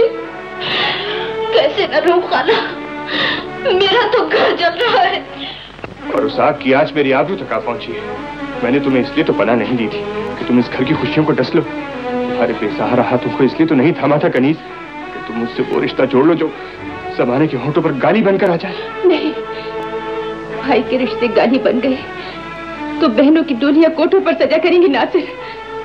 मेरा गुना यह है कि मैंने पिछड़े भाई की तस्वीर को सीने से लगाया और खुद नौकर बनकर उसके कदमों में रही। कनीज के रूप में अपनी बिछड़ी हुई बहन नजमा को पहचानो भैया। तुम नजमा हो हाँ भैया। भैया। तुमने मुझे ये पहले क्यों नहीं बताया बहन? हमारे रिश्ते ऐसे तो नहीं कि तुम अपने आप को मुजरिम समझो।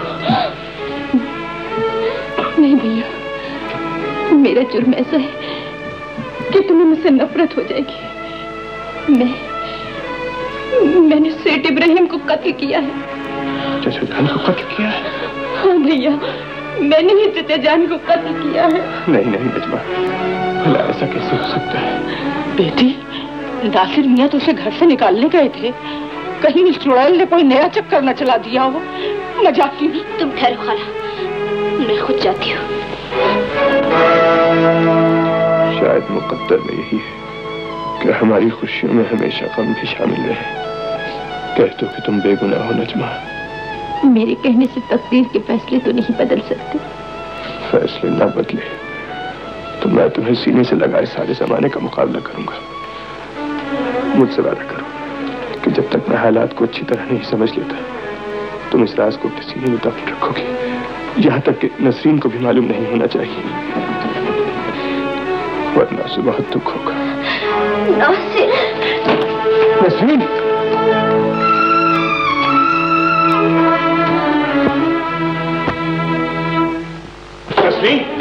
सुनो।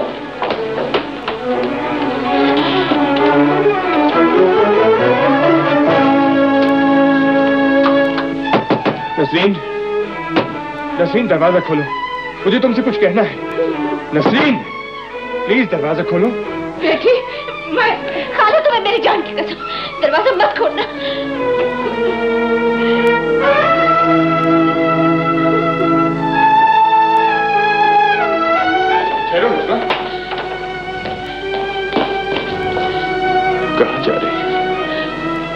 के चिराग से घर जलने लगे। तो उसका बुझ जाना ही अच्छा है। मुझे जाने दो। भाई के होते हुए मायूस होते हैं। हाँ मेरे साथ उनकी देख बारह का वो गाड़ी लेकर सही साहब के पास गया। आए तो उसे नेशनल होटल भेजिए। National hotel?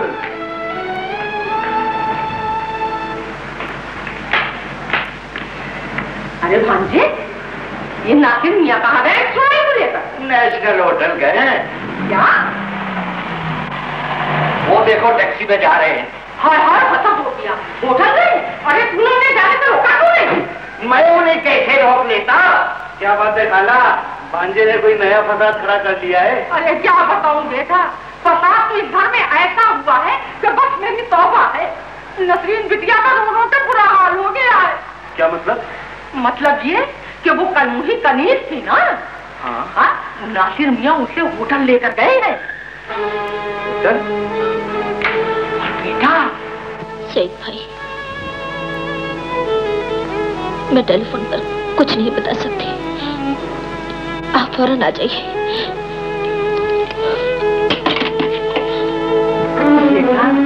ये बात थी। अपन के जीते जी ऐसा कभी नहीं हो सकता है खाला।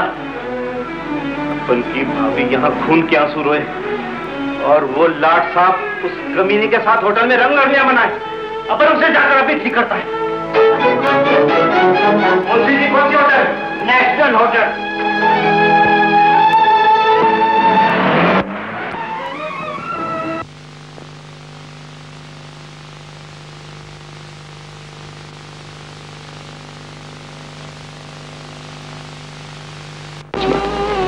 मेरा दिल गवाही देता है कि तुम कातिल नहीं हो सकते। कानून के सीने में भाई का दिल होता तो मेरे जुर्म को माफ़ कर देती। कितनी बदनसीब हूँ मैं कि अपने बिछड़े हुए भाई से मिली भी तो इस तरह। कि आँखों में निदामत के आँसू और हाथों में अपने ही खून की सुर्खी लिए हुए। अब्बा जान की मौत का गम हम आपस में बांट भी तो नहीं सके। तुम भी इस तरह बिछड़ गई जैसे हमारा छोटा भाई बिछड़ गया था। काश वो भी आज मिल जाता तो बरसों का कम कुछ तो हल्का होता। न जाने अल्लाह न करे।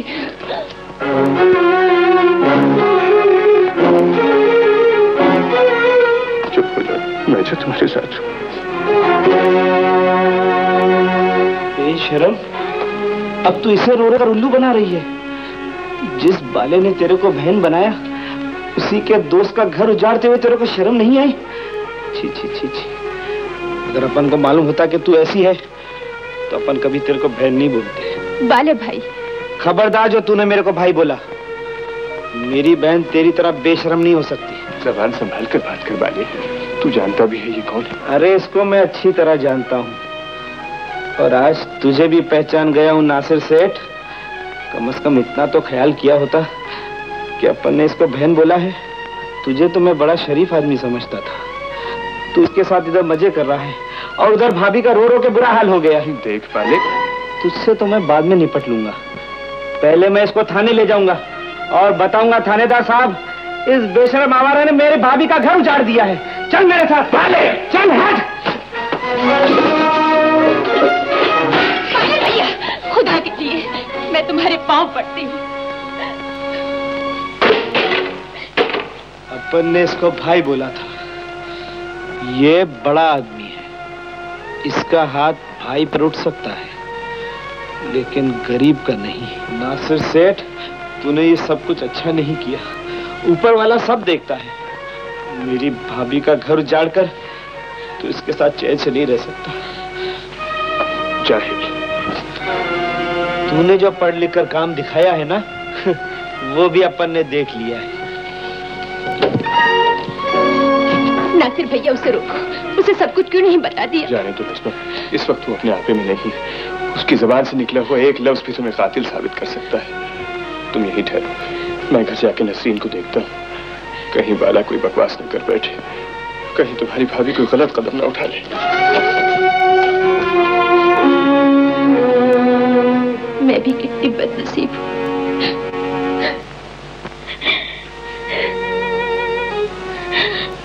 जरा खुद ही सोचिए सईद भाई कोई खामा खा किसी गैर औरत के साथ होटल में कैसे ठहर सकता है? नासिर मियाँ का क्या कसूर है? उस डायन ने बरगलाया है। आप क्यों रो रो कर अपनी जान हलकान करती हैं भाभी? बाले को आ जाने दीजिए हालात का पता चल जाएगा। हालात एकदम खराब हो चुके हैं सईद साहब। अब वो अपना भाई नहीं रहा। नासिर सेठ बन गया है। अपन को वो जाहिल बोलता है और धक्के देकर कमरे से बाहर निकाल दिया है। सच? आज अपन को मालूम हुआ है कि न तो अपना कोई भाई है और न कोई बहन। सब फ्रॉड है लफड़ेबाजी है। तो क्या ये सब लोग ठीक कह रहे हैं? आज अपन ने जो कुछ होटल में देखा है ना जी करता है डूब के मर जाऊँ। आओ मेरे साथ। मैं देखूँ वो फाशा कौन है। अब अपन वहाँ नहीं जा सकता। आज से नासिर की और मेरी दोस्ती खत्म। ए बेटा खुदा के वास्ते उस कलमोही को थाने में बंद कर दूँ। तू बेफिक्र रहे खाला सही साहब सब ठीक कर लेंगे। ये लो चाबी। भाभी अपन जा रहा है। बारे भैया क्या बहनों को मुसीबत में तनहा छोड़ा जाता है? इसीलिए तो मैं जा रहा हूँ। मेरे से न तो बहन की आँखों में आँसू देखे जाते हैं न भाई पे हाथ उठाया जाता है। खुदा हाफिज बारे भैया।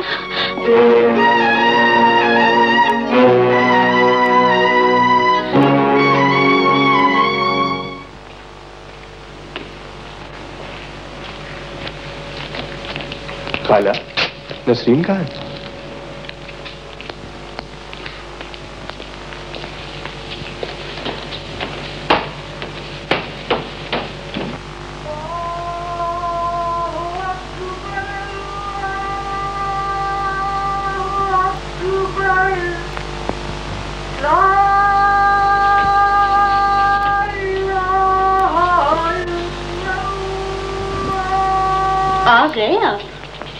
अपनी रंगरलियों से फुर्सत कैसे मिल गई?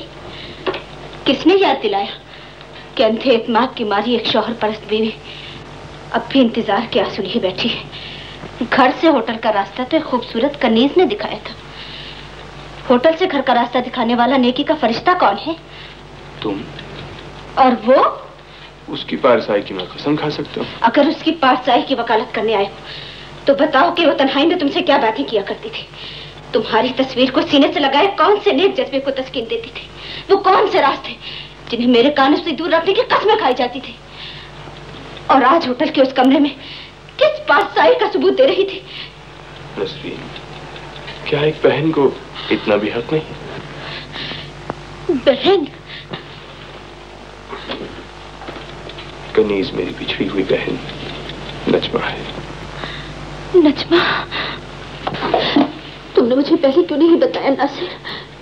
सिर्फ़ इस डर से कि कि वो चाचा जान की कातिला भी है। कातिला? उसे यही गुमान है। मगर ये सब कुछ हुआ कैसे? आप मैं तुम्हें बताता हूँ।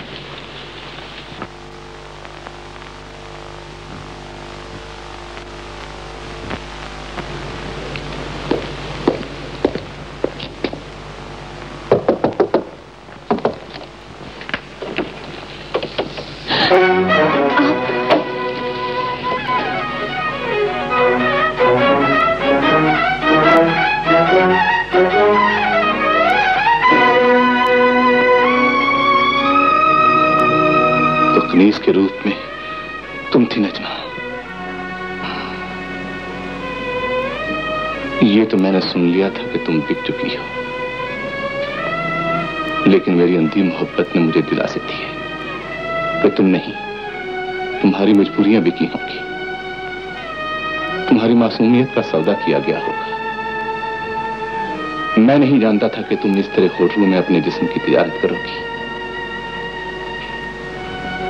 क्या यही है मेरे उन ख्वाबों की ताबीर, जो मैंने जागती आँखों से देखे थे? क्या यही है वो आँखें जो मेरे इंतज़ार में आंसुओं के खजाने लुटाया करती थी? तुम तो मुझे शहर आने से रोकती थी। अब तुमने शहर आकर कौन से गुल खिलाए हैं? काश मुझे मालूम होता कि ज़िंदगी के सफ़र में तुम मुझे राहजन बनकर मिलोगी। तो मैं तुमसे कभी मोहब्बत न करता।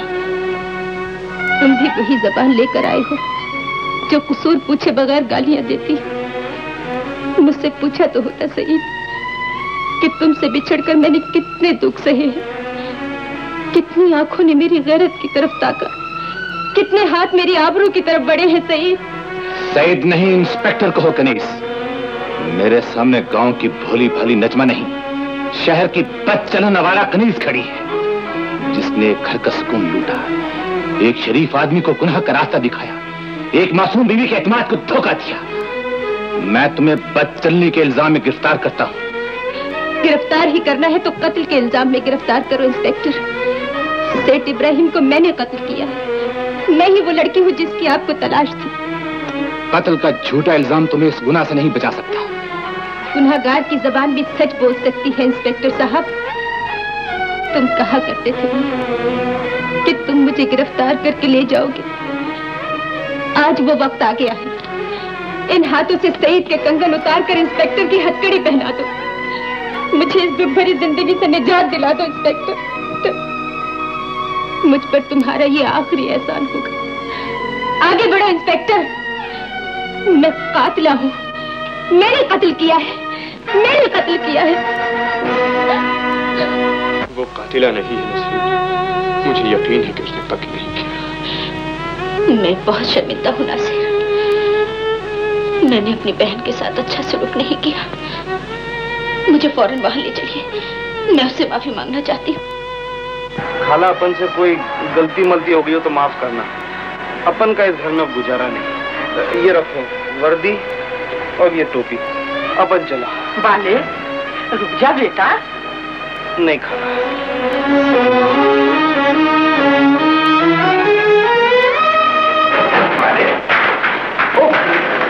अपन को जाने से नासर से तुझे गलत फहमी हुई है पगले कनीज तो मेरी बिछड़ी हुई बहन नजमा है। हाँ वालिद भाई ये सच कह रहे हैं। हम सबने गलत फहमी का शिकार होकर उसके साथ बहुत ज्यादती की है। पर अपन से तो कुछ जास्ती गड़बड़ हो गई है। अच्छा चल चल। तेरा सामान मेरा रखिए और तू भी तो दे। जा। भाभी चाबी। अरे मुझे क्या घूम घूम के देख रहा है? मुझे क्या जब मालूम नहीं था तो इतना बड़ा इल्ज़ाम लगाने की क्या ज़रूरत थी? तो हाँ तो मैं चली जाऊँगी। अकेली या फंसे को लेकर? अकेली। बड़ी आई अकेली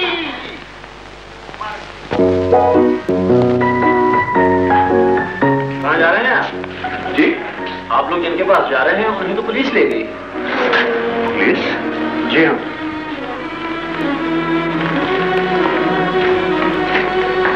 वाले तुम इन्हें घर ले जाओ मैं थाने जा रहा हूँ। सईद नजमा को ज़रूर वहीं ले गया होगा चलो सर ये लड़की सेठ इब्राहिम की कातला है। जिसे एक फैशनेबल होटल से गिरफ़्तार किया गया है। मुलजमों को अपने जुर्म का एतराफ है। लड़की तुमने इकबाल जुर्म कर लिया है? जी हाँ। सर आपको नासिर साहब मिलना चाहते हैं। एक्सक्यूज मी सर सुनो सेठ इब्राहिम के कत्ल की एफआईआर निकलवाओ। यस सर वो अपने चचा का कत्ल कैसे कर सकती है? कनीज मेरी पिछड़ी हुई बहन नजमा है सईद। बहन? क्या कह रहे हो नासिर? तस्वीर ने हमें किन हालात में जुदा किया और हम किस तरह मिले यही तो मैं तुम्हें बताना चाहता हूँ।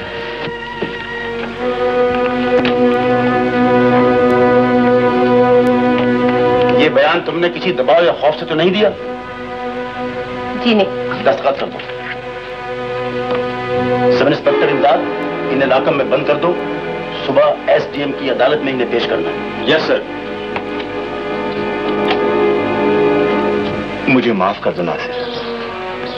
तुम्हारी बहन की गिरफ्तारी मेरे हाथों हुई।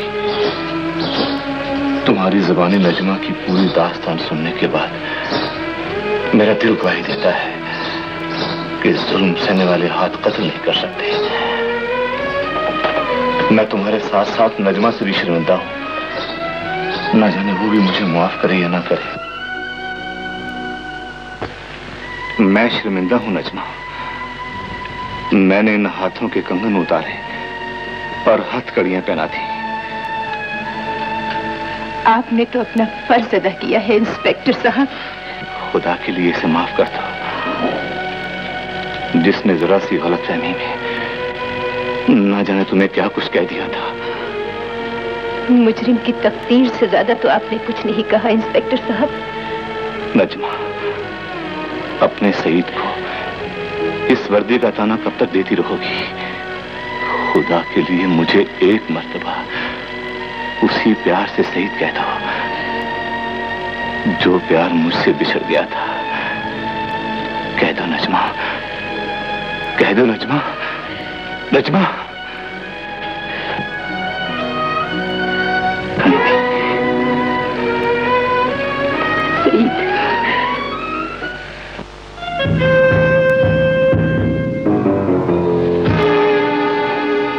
हो हो हो हो।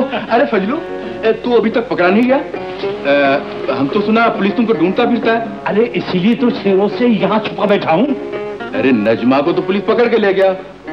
अच्छा अच्छा तो हमारा पैसा वापस करने को आया होगा। वाह वाह वाह वाह। इतना शरीफ आदमी हो।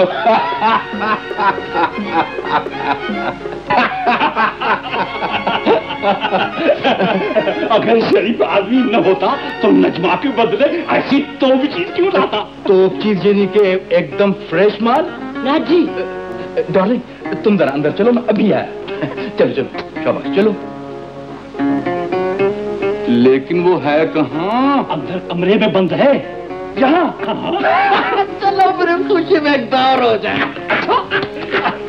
बड़ा शरीफ आदमी है। मुझसे भी ज़्यादा शरीफ।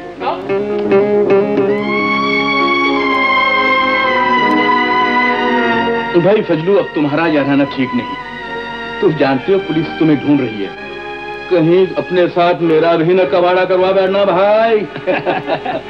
तो मियाँ जी कुछ करो न। अगर मैं पकड़ा गया तो खाम खा एक शरीफ आदमी मारा जाएगा फ़ायदा कोई नहीं होगा। ठीक है मुझे एक वफादार आदमी की दुबई में ज़रूरत है। जो मेरा स्मगलिंग का माल वहाँ बेचे और ईमानदारी से मुझे यहाँ पैसे भेज दिया करे बस? तो मुझसे ज़्यादा ईमानदार और नेक आदमी आपको कहाँ मिल सकता है? ठीक है ठीक है चलो भाई। कल हमारा जहाज़ माल लेकर दुबई जा रहा है। तुम भी चलो। चलो। अच्छा। फीके। अबे ओ फीके। Yes boss. बिजली और चमकी से कहना कि कल वो हमारे साथ दुबई जा रही हैं। बहुत अच्छा। जरा महफल गर्म रहेगी।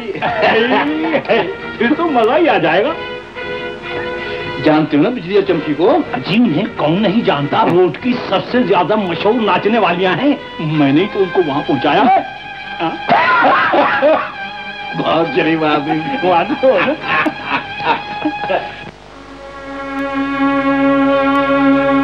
नासिर आपने दो दिन से कुछ नहीं खाया। चलिए खाना खा लीजिए। भूख नहीं है नसरी। खुदा पर भरोसा रखिए नासिर। मुझे यकीन है कि नजमा की बेगुनाही रंग लाएगी। लेकिन इस वक्त तो मुश्किल ये है कि तमाम शहादतें नजमा के खिलाफ है। और फिर उसके कार जुर्म ने तो मुकदमे को और भी उलझा दिया है।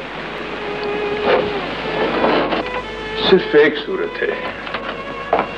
अगर खिड़की की दूसरी सलाख मिल जाए तो बहुत कुछ हो सकता है।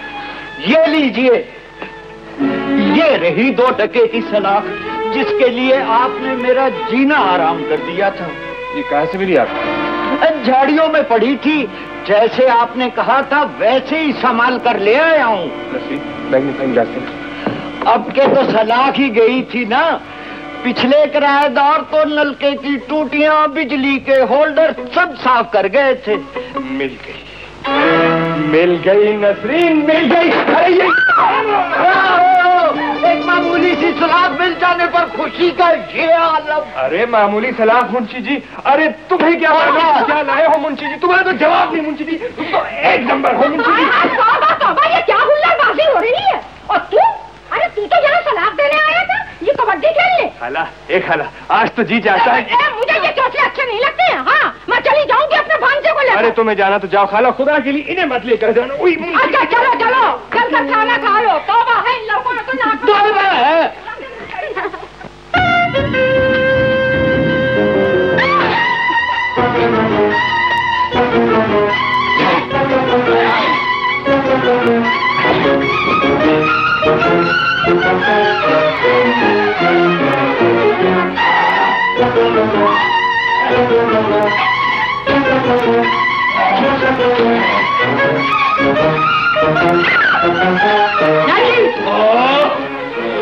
तुम यहाँ क्यों आई मैं तुझे जेल से मार दूँगी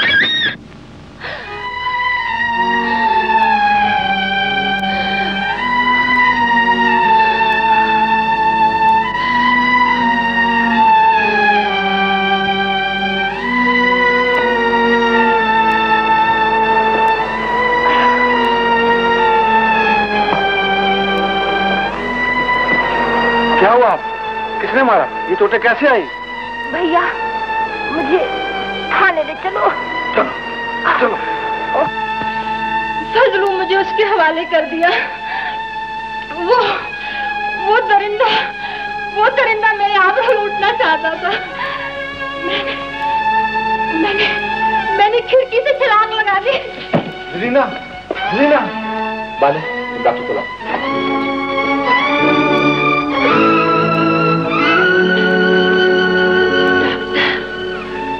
डॉक्टर। की अब ज़रूरत नहीं भैया। मैं मैं मरने से पहले आपको आपको सब कुछ बता देती हूँ।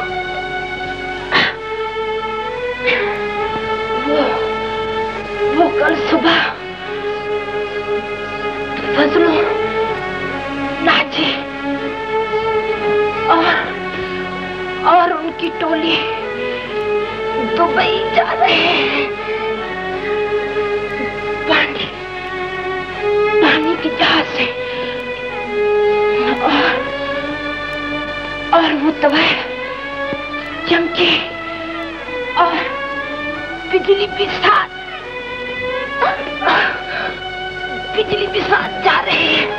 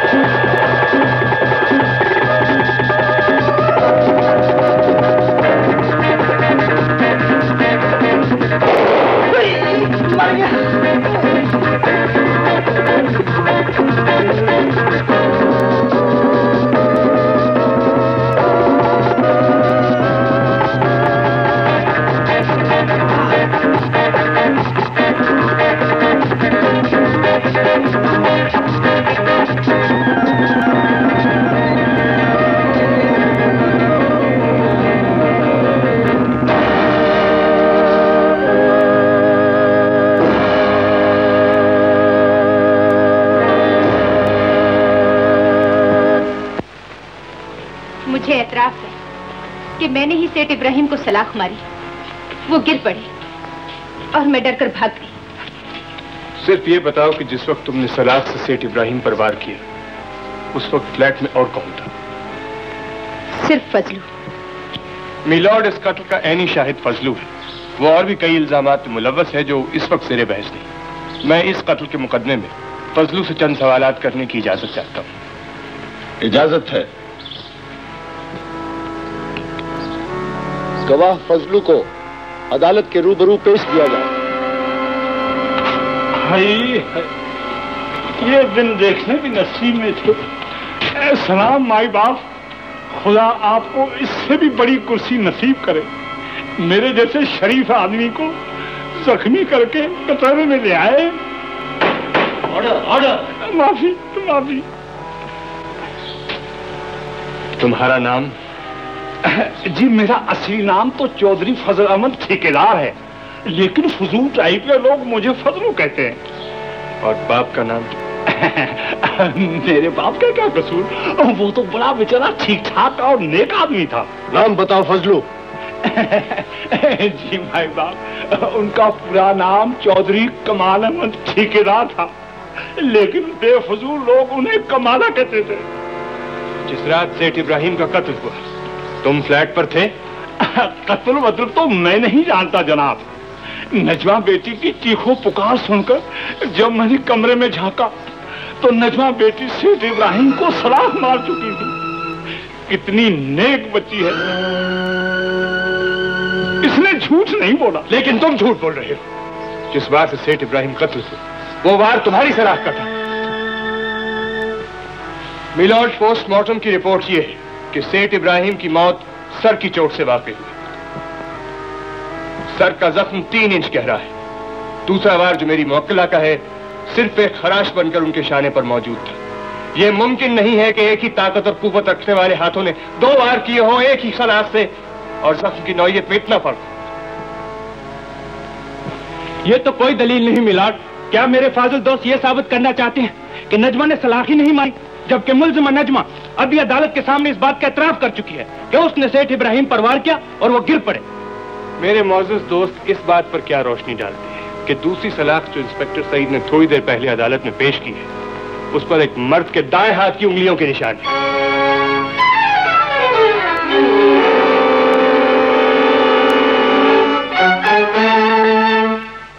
और पहली सलाख पर मेरी मौक्किला नजमा की उंगलियों के निशान है। मुझे इतराफ है।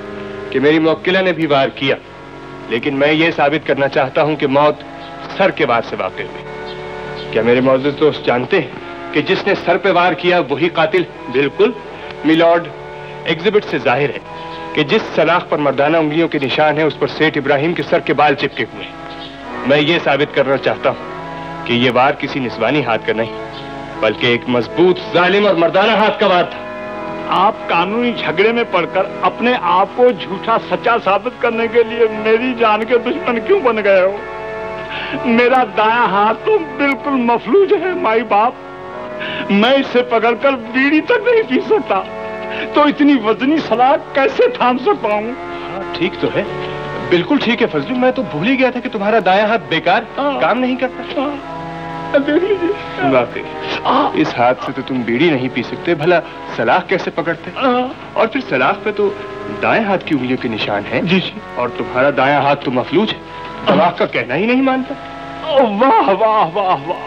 जीते रहो। मिलॉर्ड जो सलाख इंस्पेक्टर सईद ने अदालत में पेश की है और जिस पर मर्दाना उंगलियों के निशानात मौजूद हैं वो आपको दिखाने की इजाज़त चाहता हूँ। इजाज़त है। थैंक यू मलिक इसे मैग्नीफाइंग ग्लास से देखिए।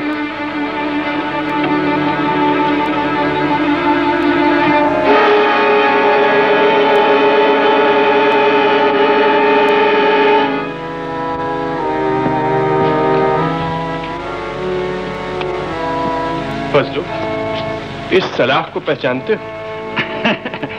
हद हो गई भाई। आप तो ऐसे कह रहे हैं जैसे ये सलाख मेरी रिश्तेदार है। ऑर्डर ऑर्डर खास दिलचस्प बात। जुर्म तुम पर साबित नहीं हो सकता। खुशकिस्मत हूँ, आपकी दुआ से। फजलू, लो इसे करीब से देखो। ये तुम्हारा कौन सा हाथ है, फजलू? मिलॉर्ड अभी अभी ये कह रहा था कि ये अपने दाएँ हाथ से बीड़ी भी नहीं पकड़ सकती। हालाँकि इसने साबित कर दिया है कि इसका दाया हाथ तो इसके बाएँ हाथ से भी ज़्यादा मज़बूत नहीं साहब जी वो तो अचानक कातल भी तुमसे अचानक हो गया था फजलू। हालाँकि तुम्हारा इरादा सेठ इब्राहिम को कत्ल करने का नहीं था क्यों? ठीक है ना? हाँ जी। नहीं जी मैंने कत्ल नहीं किया। मैं ये नहीं कह रहा कि तुमने जानबूझकर कत्ल किया है। तुमने सेठ साहब से अपनी जान बचाने के लिए सलाख से उन पर वार किया और इससे उनकी मौत वाकई हो गई। हाँ जी। लेकिन इसका मतलब ये तो नहीं कि मैंने सेठ इब्राहिम का कत्ल किया है। इसका अंदाज़ा तो अदालत उसी वक्त लगा सकती है फजलू जब तुम अदालत को सब कुछ सच सच बता दो लेकिन साहब जी। घबराओ नहीं फजलू तुम्हारे साथ इंसाफ होगा। सच सच बताओ तुमने सेठ इब्राहिम पर हमला कैसे किया? साहब जी कसम से मैं उनको कत्ल करना नहीं चाहता था। वो मुझसे सौदा करने के लिए आए थे और झगड़ पड़े। इतनी में पुलिस आ गई, मैं घबरा कर भागा और उसके बाद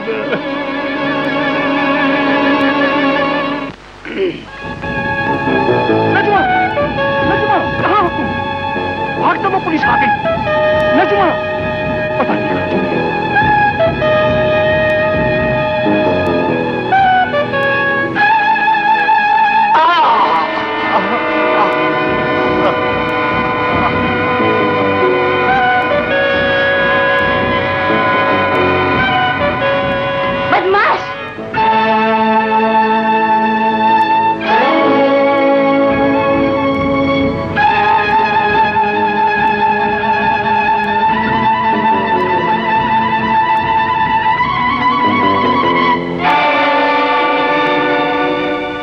मैंने तो सब कुछ सच सच बता दिया। अगर माई बाप चाहते हैं कि आइंदा भी इसी तरह लोग सच बोलें तो मुझे माफ़ करके सच्चाई का बोल बाला कर दिया जाए। अगर तुमने सच बोलने का फैसला कर ही लिया है फजलू तो ये बताओ कि आज से 16 साल पहले तुमने नजमा को रेल के डिब्बे से अगवा कैसे किया था? कमाल है भाई। मैं तो उस यतीम बच्ची के सर पर हाथ फेंक कर उसे साथ ले गया। रास्ते में मिठाई और लड्डू भी खिलाए। तुमने नजमा के भाई को भी लड्डू खिलाए थे ना? हाँ हाँ देख लीजिए मैं कितना ठीक ठाक और शरीफ आदमी हूँ। फजलू तुमने जिस नजमा के भाई को लड्डू खिलाए थे ना हाँ। वो मैं हूँ। आप मास्टर के लड़के हैं रहमत के। हैं जी आप मास्टर रहमत के लड़के हैं। फजलू अगर तुम मास्टर रहमत को जानते हो तो फिर उसके छोटे बच्चे के बारे में भी कुछ जानते होंगे। हाँ जी मुझे मास्टर रहमत ने रेल के डब्बे में बताया था कि उनका छोटा लड़का कराची में अपनी खाला के पास रहता है। वहाँ किसी मैकेनिक के पास काम सीख रहा है। अच्छा तो बाला नजमा और नासिर का भाई मिलॉर्ड मेरे फादर दोस्त ने अपना इंटरव्यू बहुत लंबा कर दिया है। मेरा इंटरव्यू खत्म हो चुका है मिलॉर्ड। अब मैं फाजिल अदालत से दरखास्त करूँगा कि मेरी मौकला को बाइज्जत तौर से बरी किया जाए। और मुजरिम फसलू को गिरफ़्तार किया जाए। अरे साहब सब कुछ पूछ पाछ के एकदम बदल गए हद हो गई। ऑर्डर ऑर्डर माफ़ी शरीफ आदमी बर्बाद हो जाएगा।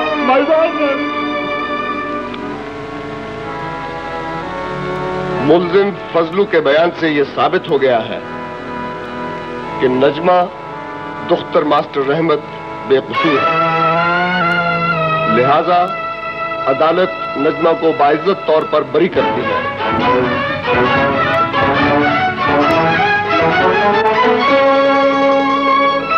और मुलजिम फजलू को कत्ल के इल्ज़ाम में गिरफ़्तार किया जाता है, जिसका फैसला मुकदमे की आइंदा कार्रवाई पर सुनाया जाएगा। अदालत बर्खास्त की जाती है।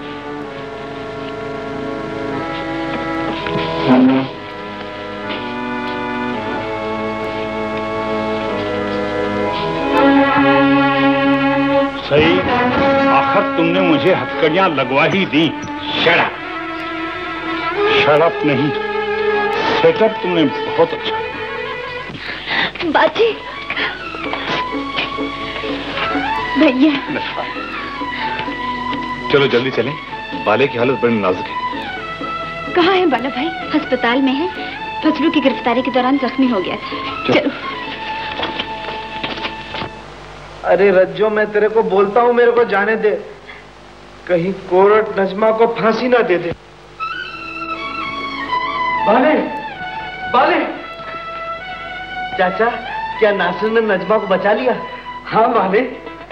और सुन नजमा और नासिर तेरे सगे बहन चाचा क्या नजमा अपन की बहन? और, और नासिर अपन का भाई है? हाँ बाले। नासिर बेटे नजमा बेटिया बाले तुम्हारा पिछड़ा हुआ भाई इकबाल है। बाले भैया। बहन नजमा बहन। भैया।